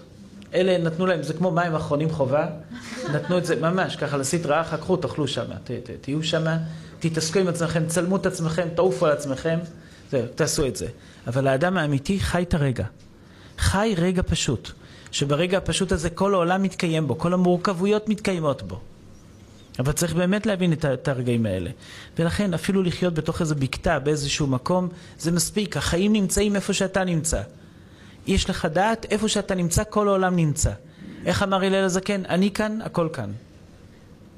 צריך להבין את זה. והלל הזקן, מה היה? איפה? בדיוק היה. איזה זרקורים היו עליו? מי. מי שמע עליו באותה תקופה? מי ידע? אף אחד לא ידע עליו. אז לשם צריך לשים את המגמה שלנו. לא צריך להיות, אנחנו כל הזמן מרגישים שאנחנו לא נמצאים במקום שאנחנו צריכים להיות. לא עם הבן זוג שאנחנו צריכים להיות, לא עם הבית שאנחנו צריכים להיות, לא עם התואר שאנחנו צריכים להיות, לא עם העבודה שאנחנו צריכים להיות, לא עם המשכורת שאנחנו צריכים להיות, וכל זה דמיונות שווא. איפה שאתה נמצא, שם בדיוק אתה צריך להיות. הקדוש ברוך הוא לא מפספס. הוא זה שמזיז אותך, התנועות הן תנועות בכלל שלו, לא שלך. כל רגע נתון הוא חושב את המציאות. אנחנו דפוסים על ידו. כל אחד ואחד מאיתנו לא מוחזק על ידי כוח המשיכה וה, והמגע עם הקרקע. הוא חושב אותנו, אנחנו בובות מחשבתיות שלו. ברגע שהוא יפסיק לחשוב אותנו, אנחנו נתפוגג. אז ככאלה, מכיוון שהוא חושב אותנו, עכשיו, במקום שבו אנחנו נמצאים, שם אנחנו ממוקמים בדיוק בתוכנית שלו. אז אנחנו ממוקמים הכי מדויק. ושם אתה צריך להתוודע אליו. דרך המקום הזה שאתה נמצא בו, אתה צריך להתוודע אליו. אתה לא צריך להיות לא בארמונות ולא על חוף הים, לא באף מקום. כל הדברים האלה, תחשוב, תחשוב. זה רק תפאורה, זה לא באמת משנה. למוח הזה זה לא באמת משנה איפה הוא נמצא. לא באמת משנה. אתה נותן משמעויות על ידי שיפוט של המקום שבו אתה נמצא. שאם אתה נמצא בתוך חדר קטן, קטן, ממש קטן, בארמון המלך, אתה תהיה נורא מבסוט, ואחר כך אתה יכול להיות בצינוק בבית כלא, שזה בדיוק אותו חדר, אני עושה לו העתק הדבק, רק אני מגדיר אותו ככלא, ואתה אומלל לגמרי. למה? רק בגלל שאתה מתרגם את זה ככה. אבל תכלס, לגבי המוח זה אותו דבר. איפה שאתה לא תהיה זה בסדר. לגבי המוח אתה משוחרר כל הזמן. אז כאן צריך לעשות מסע של התוודעות לכל הדבר הזה. צריך לעשות מסע לא פשוט, זה מסע מורכב, אני כבר אומר. וזה מסע מורכב שצריך לעשות אותו עם ספר. אני עוד לא יודע באיזה ספר אנחנו עוד ניגע, כי אני רואה כאן את הציבור שלחלק ציפיתי, לחלק פחות ציפיתי. אבל uh, אנחנו נאסוף את הכל, וזה צריך רק לשמור על, uh, על התמד. שמי שיהיה פה צריך התמד, אי אפשר זה בפעם, פעמיים. יהיו דברים שחלק מכם ישמח לשמוע, וחלק שאתם לא תשמחו לשמוע, בכל מקרה, זה לא דברים שלי, זה דברים של התורה. אז uh, צריך ללכת עם מה ששומעים עד הסוף. כדי שמשהו יצליח, צריך שיהיה איתו עד הסוף. ללכת עם הדברים עד הסוף. ואז אתם תרגישו שכל פעם קורה עליכם משהו. כל פעם קורה משהו. בתוך כל התהליך כולו, רק צריך לדעת שהפועל זה לא אנחנו.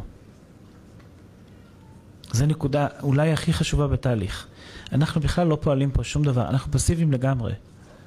אנחנו נקלוט באיזשהו שלב שאם אתה תיכנס יותר למתבונן, אתה תתבונן מבעד לעיניים. תחשבו שמבעד לעיניים האלה, מבעד לחרכים האלה, כמו ב, ב, במצפה התת-ימי או כמו בצוללת, אתה רק מסתכל החוצה מחוץ לצוללת, יש שם מישהו שמסתכל החוצה. עכשיו תסתכל במתבונן שמסתכל במתבונן. ואתה תבין שהוא לגמרי, החושב שנמצא שם בפנים, הוא לגמרי פסיבי, הוא לא עושה כלום, הוא לא רוצה כלום. אז הוא לא עושה כלום. מכיוון שהוא לא עושה כלום, הוא גם לא יכול ליזום משהו שהוא באמת מתוכנן. הוא לא יכול להגיד, אני אצא עכשיו מן הדרך, יבוא עכשיו איזה שכן, אני פתאום אפגוש אותו, אני אלחץ לו את היד, ואז הוא יגיד לי, בבקשה תזיז את האוטו. אני לא יודע, כל הדברים האלה אני לא עושה, אני לא יודע, אני לא מתכנן. תחשבו, כל צעד, אין לנו מושג מה קורה עוד חמש דקות, אין לנו מושג מה קורה עוד דקה. אז אתה לא עושה במציאות הזאת כלום.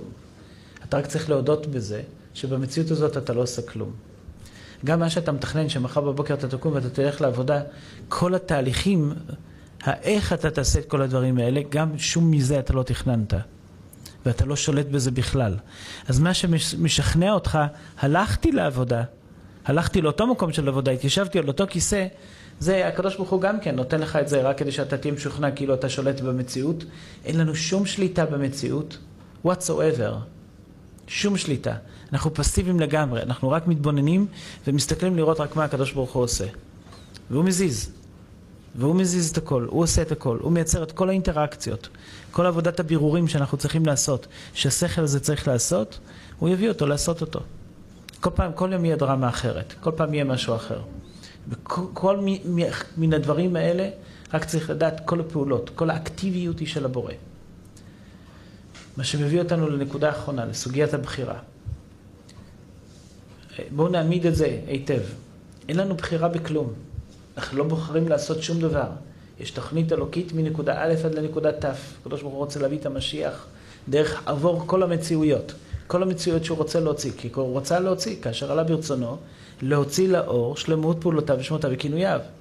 עכשיו, מי יודע את כל השמות שלו ואת כל הכינויים שלו ואת כל הפעולות שלו? מי יודע את זה? מאיפה אני יודע עכשיו איזה, איזה שם אני אמור להוציא? איזה כינוי? איזה פעולה? מאיפה אני יודע? מאיפה אני יודע גם כמה יצא? מה עוד לא יצא? אולי אני אוציא את זה. אולי מה עוד יצא? מי, מי יודע? מי שולט בזה? שמונה וחצי מיליארד איש. מי שולט בדברים האלה? רק הוא שולט בכל הדברים האלה. אתה רק צריך להתבונן. ההתבוננות, תהליך ההתבוננות עצמה, היא להבין את הבורא. תהליך ההבנה את הבורא, בזמן שהוא פועל, אנחנו מבינים אותו תוך כדי הפעולה שלו. אנחנו נמצאים כאן תוך כדי תנועה. הוא המוחין, הוא פועל, הוא מזיז, יש לו תכנון, יש לו הסתכלות מסוימת, יש לו דרך מסוימת. אתה רק תתבונן בו, רק תנסה להבין אותו בתהליך. ההבנה שלך בתהליך, תיקח את נקודת הצמצום שבה אתה נמצא, ואת המוחין האמיתיים שבו הוא נמצא, את הגרעין, את העצם שבו הוא נמצא, ולאט לאט אתה תחבר אותם. וכשאתה תסתכל אתה תראה שבכלל אין רע, ואין טוב גם שיפוטי. יש כאן רק טוב כשלעצמו. יש כאן אקסיומה נפלאה שבו הכל מובנה ומדויק ונמצא בדיוק במקומו ושהכל באמת בסדר ולא צריך לעשות במציאות הזאת שום דבר כי היא באמת בסדר. לא חסר במציאות הזאת שום דבר. תחשבו על זה בהיגיון. אין מצב שאנחנו יוצאים מן היקום ואנחנו מסתכלים כי כל היקום והוא בתוכו זה הוא ואז אתה יכול להגיד משהו פה פגום, משהו פה לא בסדר. יש מציאות כזאת שאפשר יהיה לצאת רגע אחד מן המציאות, להסתכל עליה ולהגיד היא פגומה, המציאות פגומה, משהו פה לא בסדר. יש מצב? אין מצב. כי אחרת אתה מפיל את זה לבורא ואתה אומר בכל רגע נתון, הוא, כנראה הוא, לא, הוא פגום. היה מצב ראשוני שהוא היה מושלם כאור אינסוף. יש איזה מצב ביניים שבו הוא פגום, משהו פה לא בסדר. ואחר כך יהיה איזה מצב של ימות המשיח שגם כן זה שוב יחזור להיות בסדר. אבל המצב האמצעי נראה לנו עכשיו כלא בסדר? זה שזה לנו נראה כלא בסדר, וזה הדבר הכי לא בסדר היחידי שיש שם בכל הסיפור כולו. אבל למעשה אנחנו מסתכלים על תמונה שהיא מושלמת, רק אנחנו לא רואים אותה טוב. אז צריך להביא את עצמנו למקומות האלה, ומיד אנחנו נבין את זה, ומיד אנחנו נבין את זה.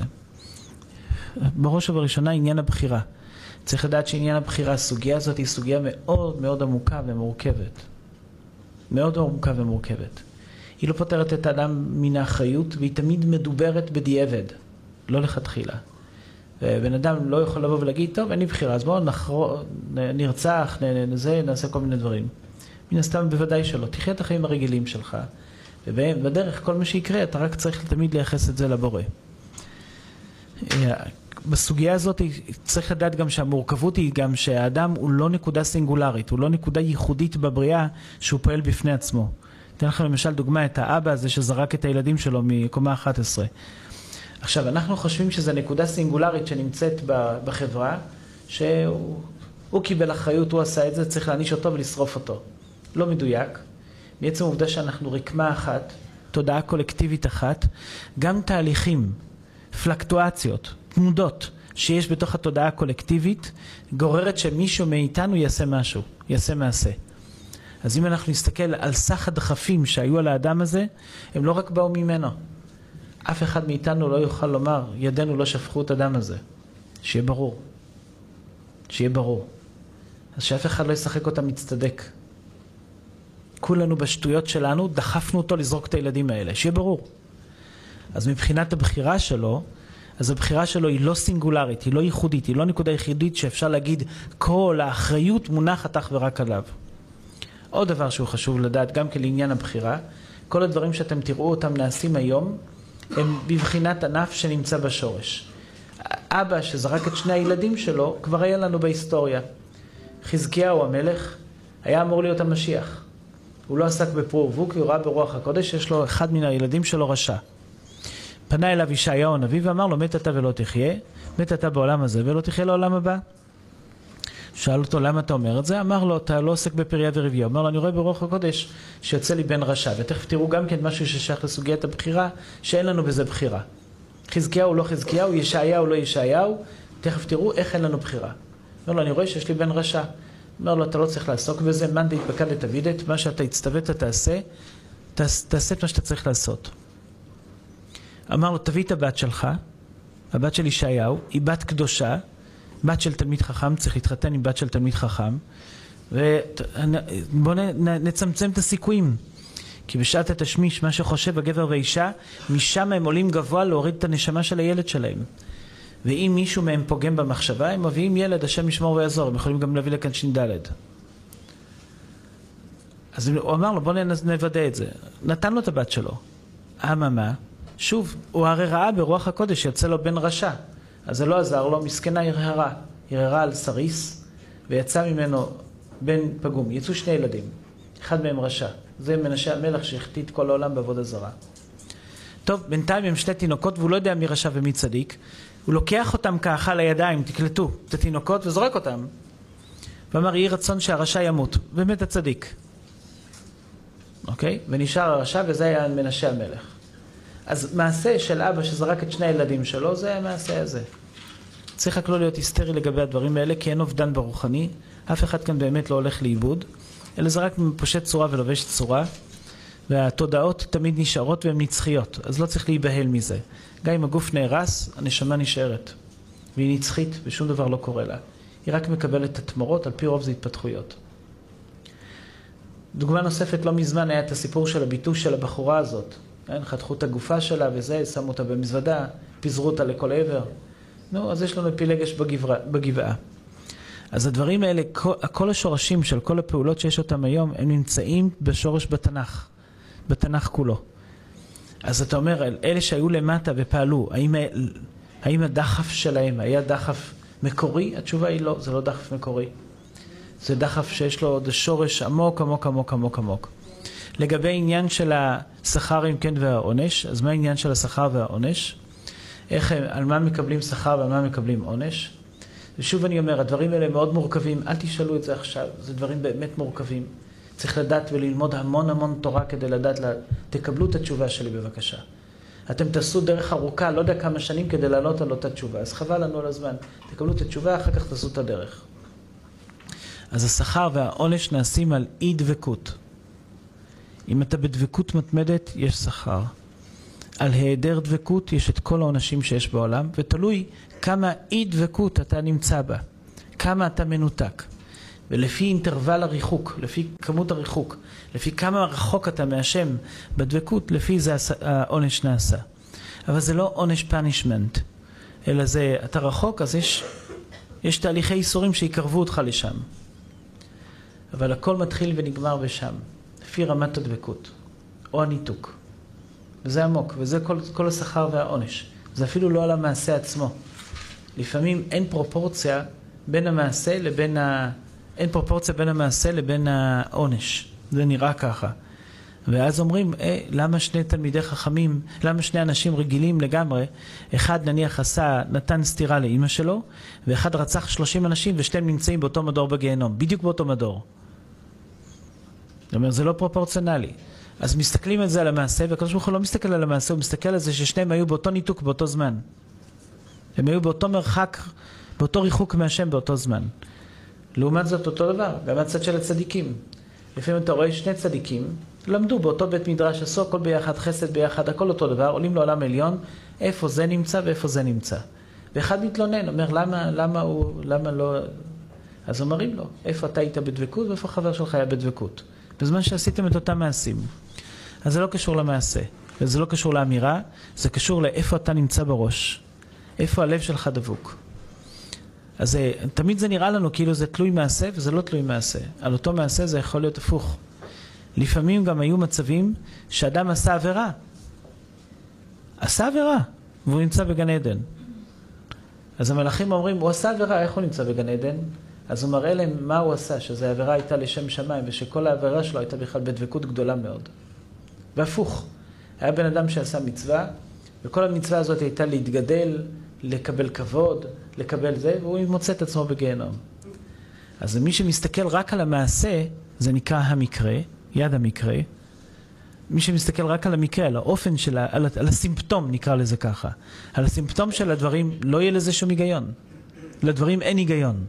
אבל הקדוש ברוך הוא בוחן כליות ולב, ורחמנה לי בבית, והוא מסתכל על הפנימיות של האדם, והוא בוחן אותו איפה הוא נמצא. ולכן, בעולם העליון, פתאום רואים אנשים שהם כאילו לא קשורים אחד לשני. כמה פעמים שמענו סיפורים, אתן אחת כדוגמה.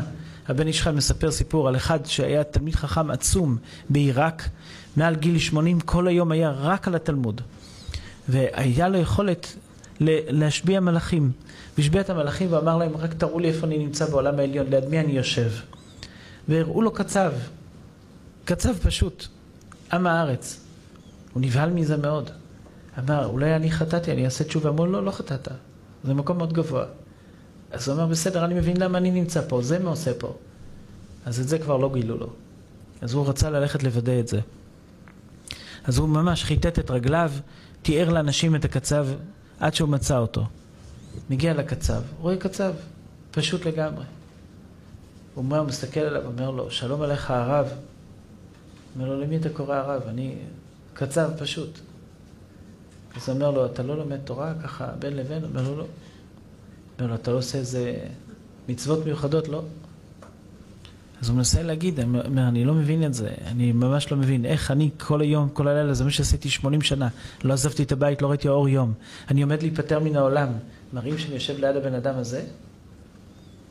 הוא משיב אותו, אומר לו, אתה חייב לספר לי, אתה בטח עושה איזה מעשה שאתה, הוא לא, הוא לא רגיל. אומר לו, לא. אומר לו, אתה נותן מעשר, צדקה? אומר לו, רגיל, כמו כולם. מה שהרב אומר להגיד בבית כנסת, אני עושה. אומר לו, אבל אתה עשית איזה משהו, אתה חייב לספר לי מה שאתה עשית. ההוא חושב, חושב, חושב. אז הוא אמר לו, תראה, זה היה מעשה שהיה די מזמן, אבל אני לא חושב שזה משהו מיוחד. אומר לו, מה אתה עשית? אומר שיום אחד באו והודיעו שחטפו בת יהודייה מה, מהכפר, ורצו בשבילה פדיון נפש גדול מאוד. וזה היה כזה גדול שזה היה 80% מכל העסק שלי. אז לקחתי 80% מכל העסק שלי, בלי לחשוב פעמיים, הלכתי ופדיתי אותה. אז הוא אומר לו, זה לא מספיק.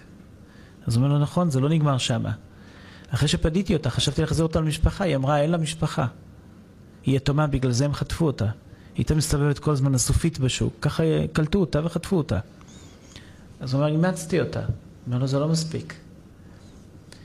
אז הוא אומר לו, אני גידלתי אותה.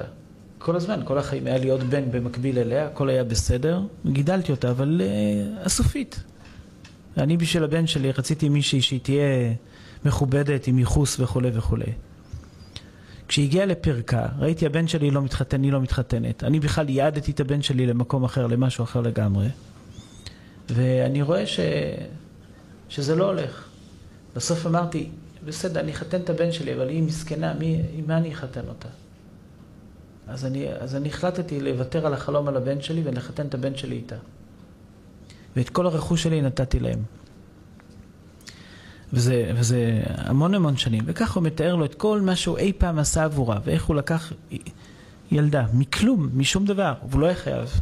עשה את כל זה בשקט. גידל אותה כמו הבת שלו הכל, חיתן אותה עם הבן שלו, העמיד אותם על הרגליים, עשה להם את הכל. אז הוא אמר לו, אני לא יודע למה שמה אותי לידך. בסוף הוא אומר לו. אז אתה רואה, כאילו, מה הוא השווה? הוא לא השווה את המעשה. הוא לא אמר, 80 שנה אני לומד גמרא, לעומת פדיון נפש יפה. אמנם עם המון מאמץ, המון הקרבה, אבל יפה. אלא הוא ראה, הוא שם לב לדבקות וליראה שלו שהוא עושה, של למה עשית את זה באמת? מאיפה הטוב המוחלט הזה לעשות את זה? אתה לא היית חייב. ואז זה לא עניין של להשוות את המעשה כמו להשוות את כוונת הלב. תקלטו. ובזה אני אסיים. הנשמה שלנו היא, כמו שאנחנו אמרנו, היא, היא אינסופית. היא אמורפית, היא חסרת צורה, והיא לא מוגבלת בכלום. בשורש, בשורש, בשורש, בשורש, אנחנו באים מאותו מקום בדיוק. כשהנשמה יורדת לכאן לעולם הזה, היא חייבת איזושהי התבטאות, היא מתבטאה. היא מדברת, היא עושה מעשים. הטעות שלנו היא לשפוט אותה על המעשים שלה במקום להתייחס קודם כל למקור שלה ולשורש שלה. זה כמו למעשה להתייחס לצמצום ולא להתייחס אל הבורא. תחשבו שאנחנו צריכים נניח לשפוט את הבורא, אנחנו אומרים לו, זה מה שאנחנו עושים כל הזמן, למה יש עוני בעולם שלך? למה יש מלחמות? למה יש כל כך הרבה רע בעולם שלך? מה אנחנו עושים בזה? אנחנו שופטים את הבורא לפי המקרים, לפי הסימפטומים, לפי ההצטמצמות שלו לאותו מקרה או לאותו דיבור. במקום לקלוט בכלל את המקור שממנו זה נובע. המקור הראשון שאנחנו עושים טעות לגבי אנשים אחרים ולגבינו, ולגבינו, גם לגבינו, זה כל הבעיה היא לגבינו. זה שאנחנו מדכאים גם את האנשים האחרים וגם את עצמנו רק מתוך זה שאנחנו שופטים אותם על פי מקרה, אותם על פי מקרה ועל פי דיבור. אתה אומר, הוא עשה ככה, הוא דיבר ככה, הוא עשה, הנה, אני אתעד לך.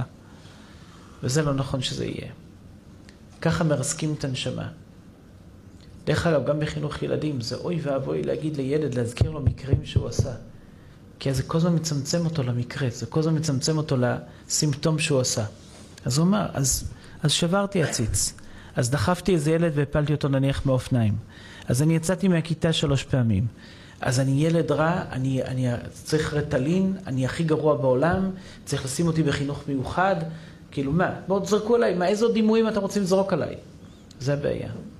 במקום להתייחס לנשמה האמורפית שלו, שהיא למעשה אינסופית והוא יכול לצאת ממנו הכל.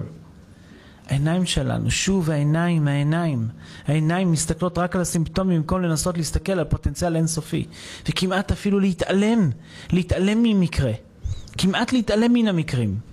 לא לראות את המקרה, לא לראות את הפעולה הסימפטומלית שנעשית. לא לשמוע את האדם שכרגע כועס והוא אומר את המילים הכי, קש, הכי קשות שיכולות להיות. להימנע מזה. לא לשמוע את זה לגמרי. כל הזמן להתייחס לנשמה האינסופית שנמצאת שם, שם בפנים. כל הזמן. כל הזמן. ככה אתה תמיד תהיה בתשובה, ככה אתה כל הזמן תזכה את האנשים האחרים. זה גם יגרום לך לאהוב אנשים אחרים, לקבל תקווה כל הזמן, להוציא את זה מהם. דרך אגב, שם הקדוש ברוך הוא מסתכל על הנשמות. הקדוש ברוך הוא לא מסתכל על מקרי הנשמות, הוא מסתכל על הנשמות. ומכיוון שהוא מסתכל על הנשמות, אז יש לו סבלנות אלינו. להחזיק מעמד, ולא על מקרי הנשמות. מקרי הנשמות זה הצטמצמות לשעתו. אתה מתייחד, מצטמצם כדי לפעול איזה שטות. בסדר, נו, אז עשית משהו, אז הבן אדם עשה משהו, אז הוא אמר משהו. זהו, עכשיו, זה, זה מסכם אותו? זה כמו להגיד שהצמצום מסכם את הבורא. הצמצום מסכם את הבורא חס ושלום. ממש לא. אז אותו דבר. אז בואו תיקחו אתם, איזה מקרים שאתם עשיתם בחיים שלכם? קחו מישהו אחר, תסכמו. אתם חושבים שאפשר יהיה לסכם אותו על פי מעשה כזה ואחר? אי אפשר, בשום פנים ואופן אי אפשר לעשות את הדברים האלה. יש כאן מישהו ש... לעשות לאחרים, בטח אנחנו נעשה. והשם יעזור ויציל אותנו מהדברים האלה. אבל אתה, אתה מרגיש שיש פעולה שאתה עשית אותה ואתה אומר, זה מסכם את החיים שלי? זה היה מפעל החיים שלי? היית רוצה שיזכירו לך את זה כל החיים? לא, נכון? אז מן הסתם אסור לנו לעשות את זה לאנשים אחרים. בשום פנים ואופן. אז אתה אל תצמצם את עצמך, שלא יהיה מצב שבעולם מישהו יסתכל עליך ועל מעשה אחד, גם מעשה טוב. גם מעשה טוב שאתה עשית. גם מעשה טוב שזה, זה, זה גם מצמצם אותך, שעשית איזה מעשה טוב, לא משנה כמה הוא גדול. איך אנחנו היינו מסכמים להניח את משה רבנו, לפי איזה מעשה שלו? בואו תגידו לי. בסלע. הסלע, מסכם אותו? ממש לא. ממש ממש לא. בוא אני אראה לך מיליון דברים שזה חיתוך של משה רבנו. שזה ממש לא מסכם אותו. אין מעשה שמסכם בן אדם. אין, אין. אל תיכנסו לזה. לא הייתם אמורים לענות על זה. בסדר, תכבדו את עצמכם, אל תענו. צמצום לא מסכם את הכלל. הפרט לא מסכם את הכלל. זה שהפרט יורד כדי לפעול, הכלל יורד כדי לפעול בפרט, הוא, הוא יורד. אז אתה יכול לראות טאץ' מסוים. אבל זה לא מסכם אותו. זה ממש לא מסכם אותו. זה כמו להגיד שיצירה של אומנות מסכמת את האומן. זה לא מסכם את האומן. זה ממש לא מסכם, זה מצמצם את האומן. היום תמונת האומנות שלו היא ככה, מחר הוא יהיה שמח, היא תהיה אחרת. אז אנחנו כל כך אינסופים, אתם יודעים למה זה לא מסכם? כי אנחנו אינסופים, אז אי אפשר להגיד משהו שמסכם אותנו. אז לנסות לענות על השאלה הזאת, כמה שאתם לא תביאו עכשיו איזה טיעון פילוסופי עמוק, זה כבר יהיה טעות מהסיבה פשוט שאנחנו הרי אינסופיים. אז אין שום דבר שיסכם אותך. לכן רצה הקדוש ברוך הוא לזכות את ישראל. לפיכך הרבה להם תורה ומצוות. אז עניין של ריבוי של תורה ומצוות זה רק כדי להדיר, להגיד, בוא ניתן לך עוד אופציה לחזור לאינסוף ועוד אופציה שיחזור לאינסוף. כל מצווה היא בחינת אינסוף, כל אמירה של תורה היא בחינת אינסוף. כל התעסקות בתורה ובמצוות ובהלכות היא בחינת אינסוף. אז הקדוש ברוך הוא אומר כל הזמן, ולכן מצווה, שכר מצווה בעל מעדן, ליקה, זה אין, אין שכר מצווה בעולם הזה. היה בתקופת החפץ חיים איזה תלמיד חכם גדול, היה עוני גדול. אמר לו, אני מוכן לתת מצווה אחת, פעם אחת של תפילין, שיהיה פה שפע. אז הוא קם וסתר לו, חפץ חיים. אומר לו, לא הבנת את כל התורה. אומר לו, אוקיי, מצווה אחת כזאת היא מביאה אותך עד לאינסוף. אתה רוצה לתרגם את זה לכסף? אומר, אין משהו שמסכם אותך. אין. אין. אז יוצא שכל הפעולות של כל האנשים תמיד, זה רק מקרים. מקרים אני לא מתכוון by chance, אלא הכוונה סימפטומליים. זה, זה הצטמצמות סימפטומלית. הצטמצמות סימפטומלית, אז איך נגדיר אותה? אז מה, נפטור את כל האנשים מכל, מאחריות על כל המעשים שלהם? לא, אנחנו מגדירים את זה כהתפשטות של צורה ישנה ולבישה של צורה חדשה. התפשטות של צורה ישנה ולבישה של צורה חדשה. כי אנחנו נראה את המעשים משתנים כל הזמן. כמו שאתה היית ילד קטן, שיחקת גולות, אז אני אצמצם אותך? בן אדם אומר, אני מתתי על גולות, זה ממש היה משחק שהיה יכול לאפיין אותי. תשאל את כולם, כולם יגידו לך, איציק זה גולות. בסדר, גדלת בגיל 16 וזה כבר לא נהיה גולות, זה נהיה משהו אחר לגמרי. אז ככה, אז, אז נהיה משהו אחר, אתה נהיית חובב סרטים, בסדר. הגעת לגיל 30, עכשיו אתה חובב סרטים? לא. אז גם, לא, גם אז זה לא אפיין אותך. אז כל פעם יש, יד המקרה, כל פעם הפעולה הסימפטומלית, כל פעם משתנה, כי אתה משתנה. אז רק צריך לאפשר לנשמה להתבטא ולהתבטא ולהתבטא. וכל מה שאנחנו יוצאים ועושים כמעשה או דיבור הוא מקרה. לכן קוראים לזה יד המקרה, אבל זה לא מקרה הכוונה by chance, שזה בטעות יצא. אלא מקרה זה כמו ענף מתוך עץ. יצא עוד ענף, אז יצא עוד ענף, יצא עוד ענף, יצא עוד ענף. תסתכלו מה קורה בעץ, הוא כל שנה יודע להשאיר את כל העלים שלו, מרעיד את כל המקרים, מתחיל הכל מחדש. והעץ של שנה חדשה הוא לגמרי שונה מעץ של השנה הקודמת. העלים הם אחרים הכל, זה עץ חדש לגמרי. זה המחדש בטובו בכל יום תמיד מעשה וראשית. אז אם אני נניח מכיר בן אדם על פני עשרים שנה, מה אני אגיד שעשה מעשה שמאפיין אותו? יש מעשה שאני יכול לאפיין אותו? לא. אז, אז איך אני יכול להכיר אותו? עשרים שנה אני מכיר בן אדם, נניח עשרים שנה. שלא לדבר על יותר, נניח עשרים שנה. אז איך אני כן אסכם אותו? אם אני רוצה כבר לסכם אותו, איך אני אסכם אותו? התפתחות.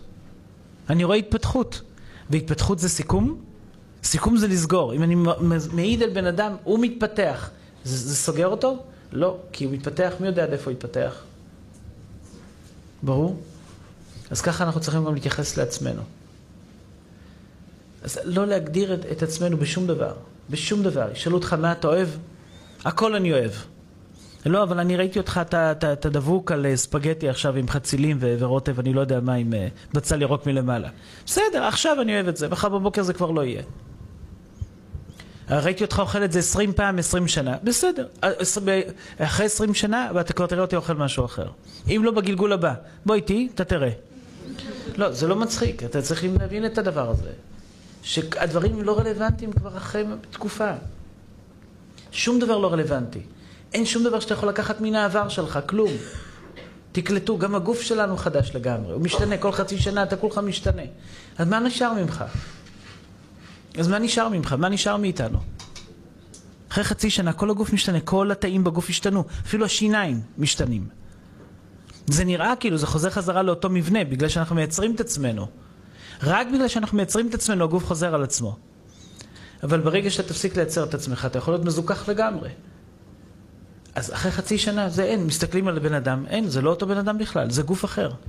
אז גוף שאפילו אני לא יודע מה עשו לו בעבר, דחפו לו, אני לא יודע מה הוא עשה לעצמו, אין, זה כבר אחרי חצי שנה זה כבר גוף אחר לגמרי, נולד מחדש. מחילה מכבודכם, מחילה לצניעות. הזוהר אומר, על אישה שהייתה אפילו בעולה, לא יודע כמה פעמים, חזרה בתשובה, בתולין חוזרים לה.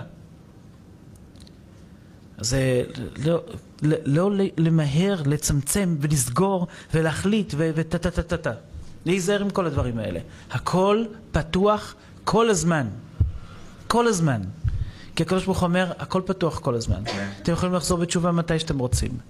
אתם יכולים להתפתח אליי מתי שאתם רוצים. תגיעו אליי מתי שאתם רוצים. אני אתן לכם הזדמנויות. חודש אלול, ראש השנה, עשרת ימי תשובה, יום הכיפורים, חותם ראשון, חותם שני, הושענא רבה. יש לכם אחר כך את החותם השלישי אפילו בפסח שני. ת, תיפתחו, תזוזו, תעשו מה שאתם רוצים. קדימה, ת, תתקדמו. והוא מאפשר לנו, הוא נותן לנו כל הנסיבות רק כדי לאפשר לנו את הדבר הזה. מה נשאר? רק להתפתח. זה מה שנשאר. לא להיתקע על כלום. שהראש הזה לא יחזיק כלום, לא תעשה לך כל פסל וכל תמונה. אל תיתקע על כלום. רק להסתכל קדימה ולהתפתח ולהתפתח ולהתפתח. וזה ווין ווין סיטואשן. אתם תקלטו, אין לנו את המילה כישלון בתורה. אין את המילה כישלון. לא, אין... מה זה ואין למה מכשול? מה זה. ואין למה מכשול? מישהו יודע להגיד את הפסוק? תגידו את הפסוק. ואין למה מכשול השם עוז למותי השם. נו, תגידו את הפסוק מההתחלה שלו. משתבח שמו. יש פה מישהו שקורא בסידור קצת? נו, גברים. באיזה פסוק כתוב ואין למה מכשול, השם עוז למו ייתן, השם את עמו בשלום. שיעורי בית. לא את הרב גוגל, יש סידור. יש למישהו סידור, תסתכלו, זה מופיע בסוף התפילה לפני עלינו לשבח. למען החי ורעי, משהו? כן, נו, תמשיכו הלאה. לא. נו, לפתוח את התפילה של שבת ממש לפני עלינו לשבח. זה, זה, זה סידור אשכנזי, אני לא יודע אם זה קיים. יש שם סידור ספרדי. לא זה, לא זה, אחד אחריו. כן, זה.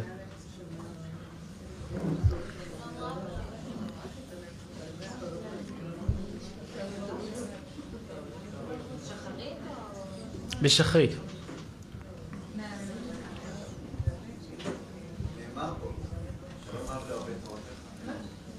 כן, יש שם את כל ההקשר.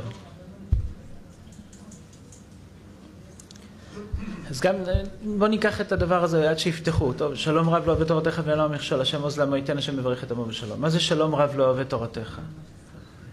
מה זה שלום רב לא אוהב את תורתך? לא כתוב שם לקיים תורתך, שלום רב לאהב תורתך, עשה תורתך. כאילו אין שם דיבור על מישהו שכבר, מה שנקרא, השתלם. שלום רב לאוהבי תורתך, כל מי שאוהב את התורה. תורה מה זה? תורה זה התפתחות. אז שלום רב לאוהבי תורתך ואין למה מכשול. עכשיו, אנחנו יודעים כמה צדיקים, אנחנו רואים כביכול כן מכשולים כלכליים, בריאותיים, בעיות עם ילדים, אלא הם לא רואים את זה ככה, הם לא רואים את זה מכשול. הם לא רואים את זה גם כן כמו ניסיונות שאנשים... היום המילה הזאת, ניסיון, זה נהיה כמו עול. כאילו איזה ניסיון חבל על הזמן. אבל הם לא, הם לא רואים את זה ככה, הם רואים את זה כהתפשטות של צורה ולבישה של צורה, הם רואים את זה כהתפתחות. אז הם רואים את זה כעוד מקרה שצריך, עוד, נס, עוד נסיבה, נסיבות שצריך להתמודד איתם, ומתמודדים עם זה וממשיכים הלאה. והם רואים את הכל טוב, זה אין בכלל רע. אז נניח לצורך העניין הזה, נניח הוא נכשל 400 פעם, הוא לא רואה את זה ככישלון. הוא ממש לא רואה את זה ככישלון. לא, בסוף, אה, בסוף התפילה, שלום רב לא אוהב תורתך ואין שלום, השם עוז למועד. כן. אוהב אני ולך.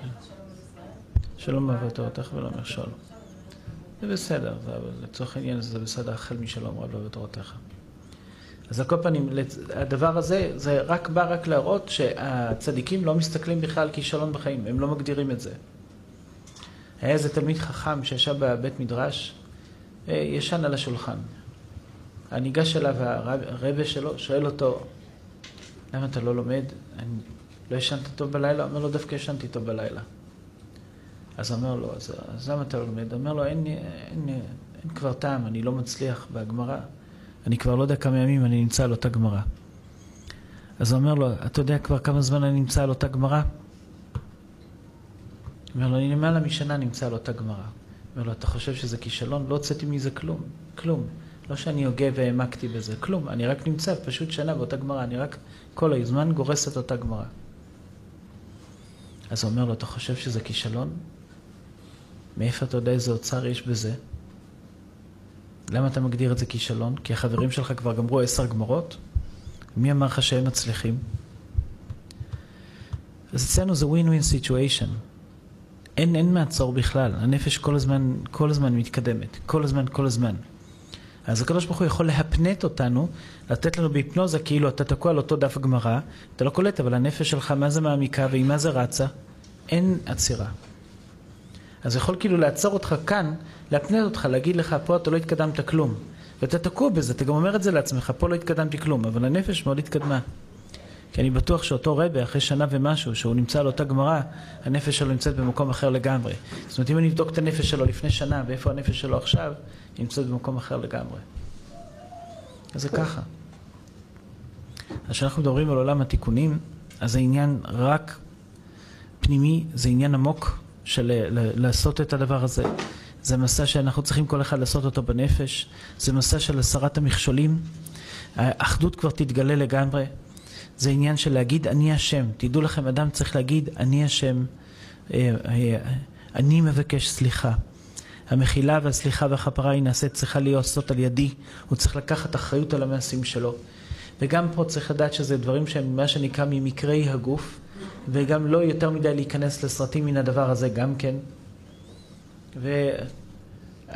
ושאר התוצאות יבואו. ברגע שאתה תצא החוצה ותתחיל להשתולל על העולם, תשכח מזה. אדם שלא מבקש סליחה, אין סיכוי שהוא מתקדם קדימה, שיהיה ברור לו לגמרי.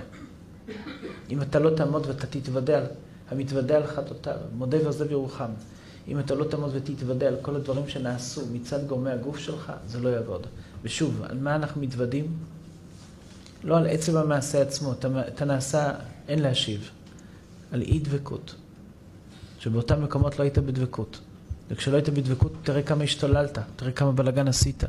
תראה כמה נזק עשית, כי לא היית בדבקות.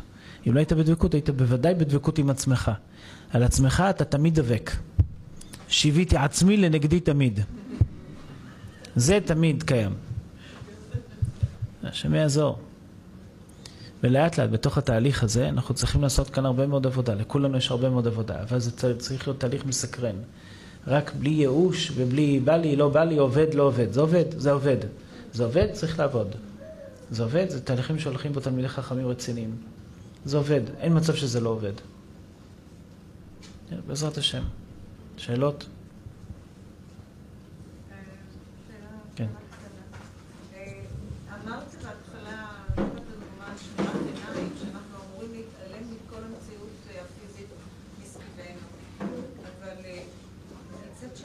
אני לא אמרתי שאנחנו אמורים, אני אמרתי שמשפחת הבבא סאלי עשו את זה, משפחה של אבוחצירא עשו את זה. לא אמרתי שאנחנו אמורים להתעלם מזה.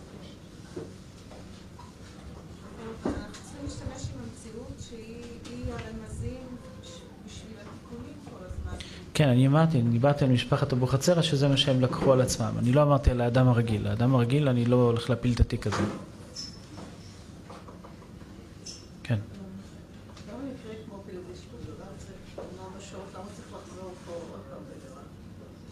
אותה מציאות. היא פושטת צורה ולובשת צורה כל הזמן. זו אותה מציאות כל הזמן. בוודאי, זה כמו גדילה של ילד קטן. ילד קטן זה אותו, אותה ישות שהיא פשוט הולכת וגדלה. התווי פנים נשארים, הכל נשאר. הכל נשאר, הוא רק גדל. הסליחה שאנחנו מבקשים זה לבורא עולם. המה? הסליחה שצריך כל הזמן לבקש. רק ממנה. אבל לא כשיטה, צריך לעשות את זה גם דרך הסימפטום. אי אפשר להימלט מאנשים שפגענו בהם. שיהיה ברור. זה חייב לעבור גם דרך הסימפטום. השם תמיד סולח, אבל אם יש כיס של תודעה פגוע, צריך ללכת ולרצות אותו. כן.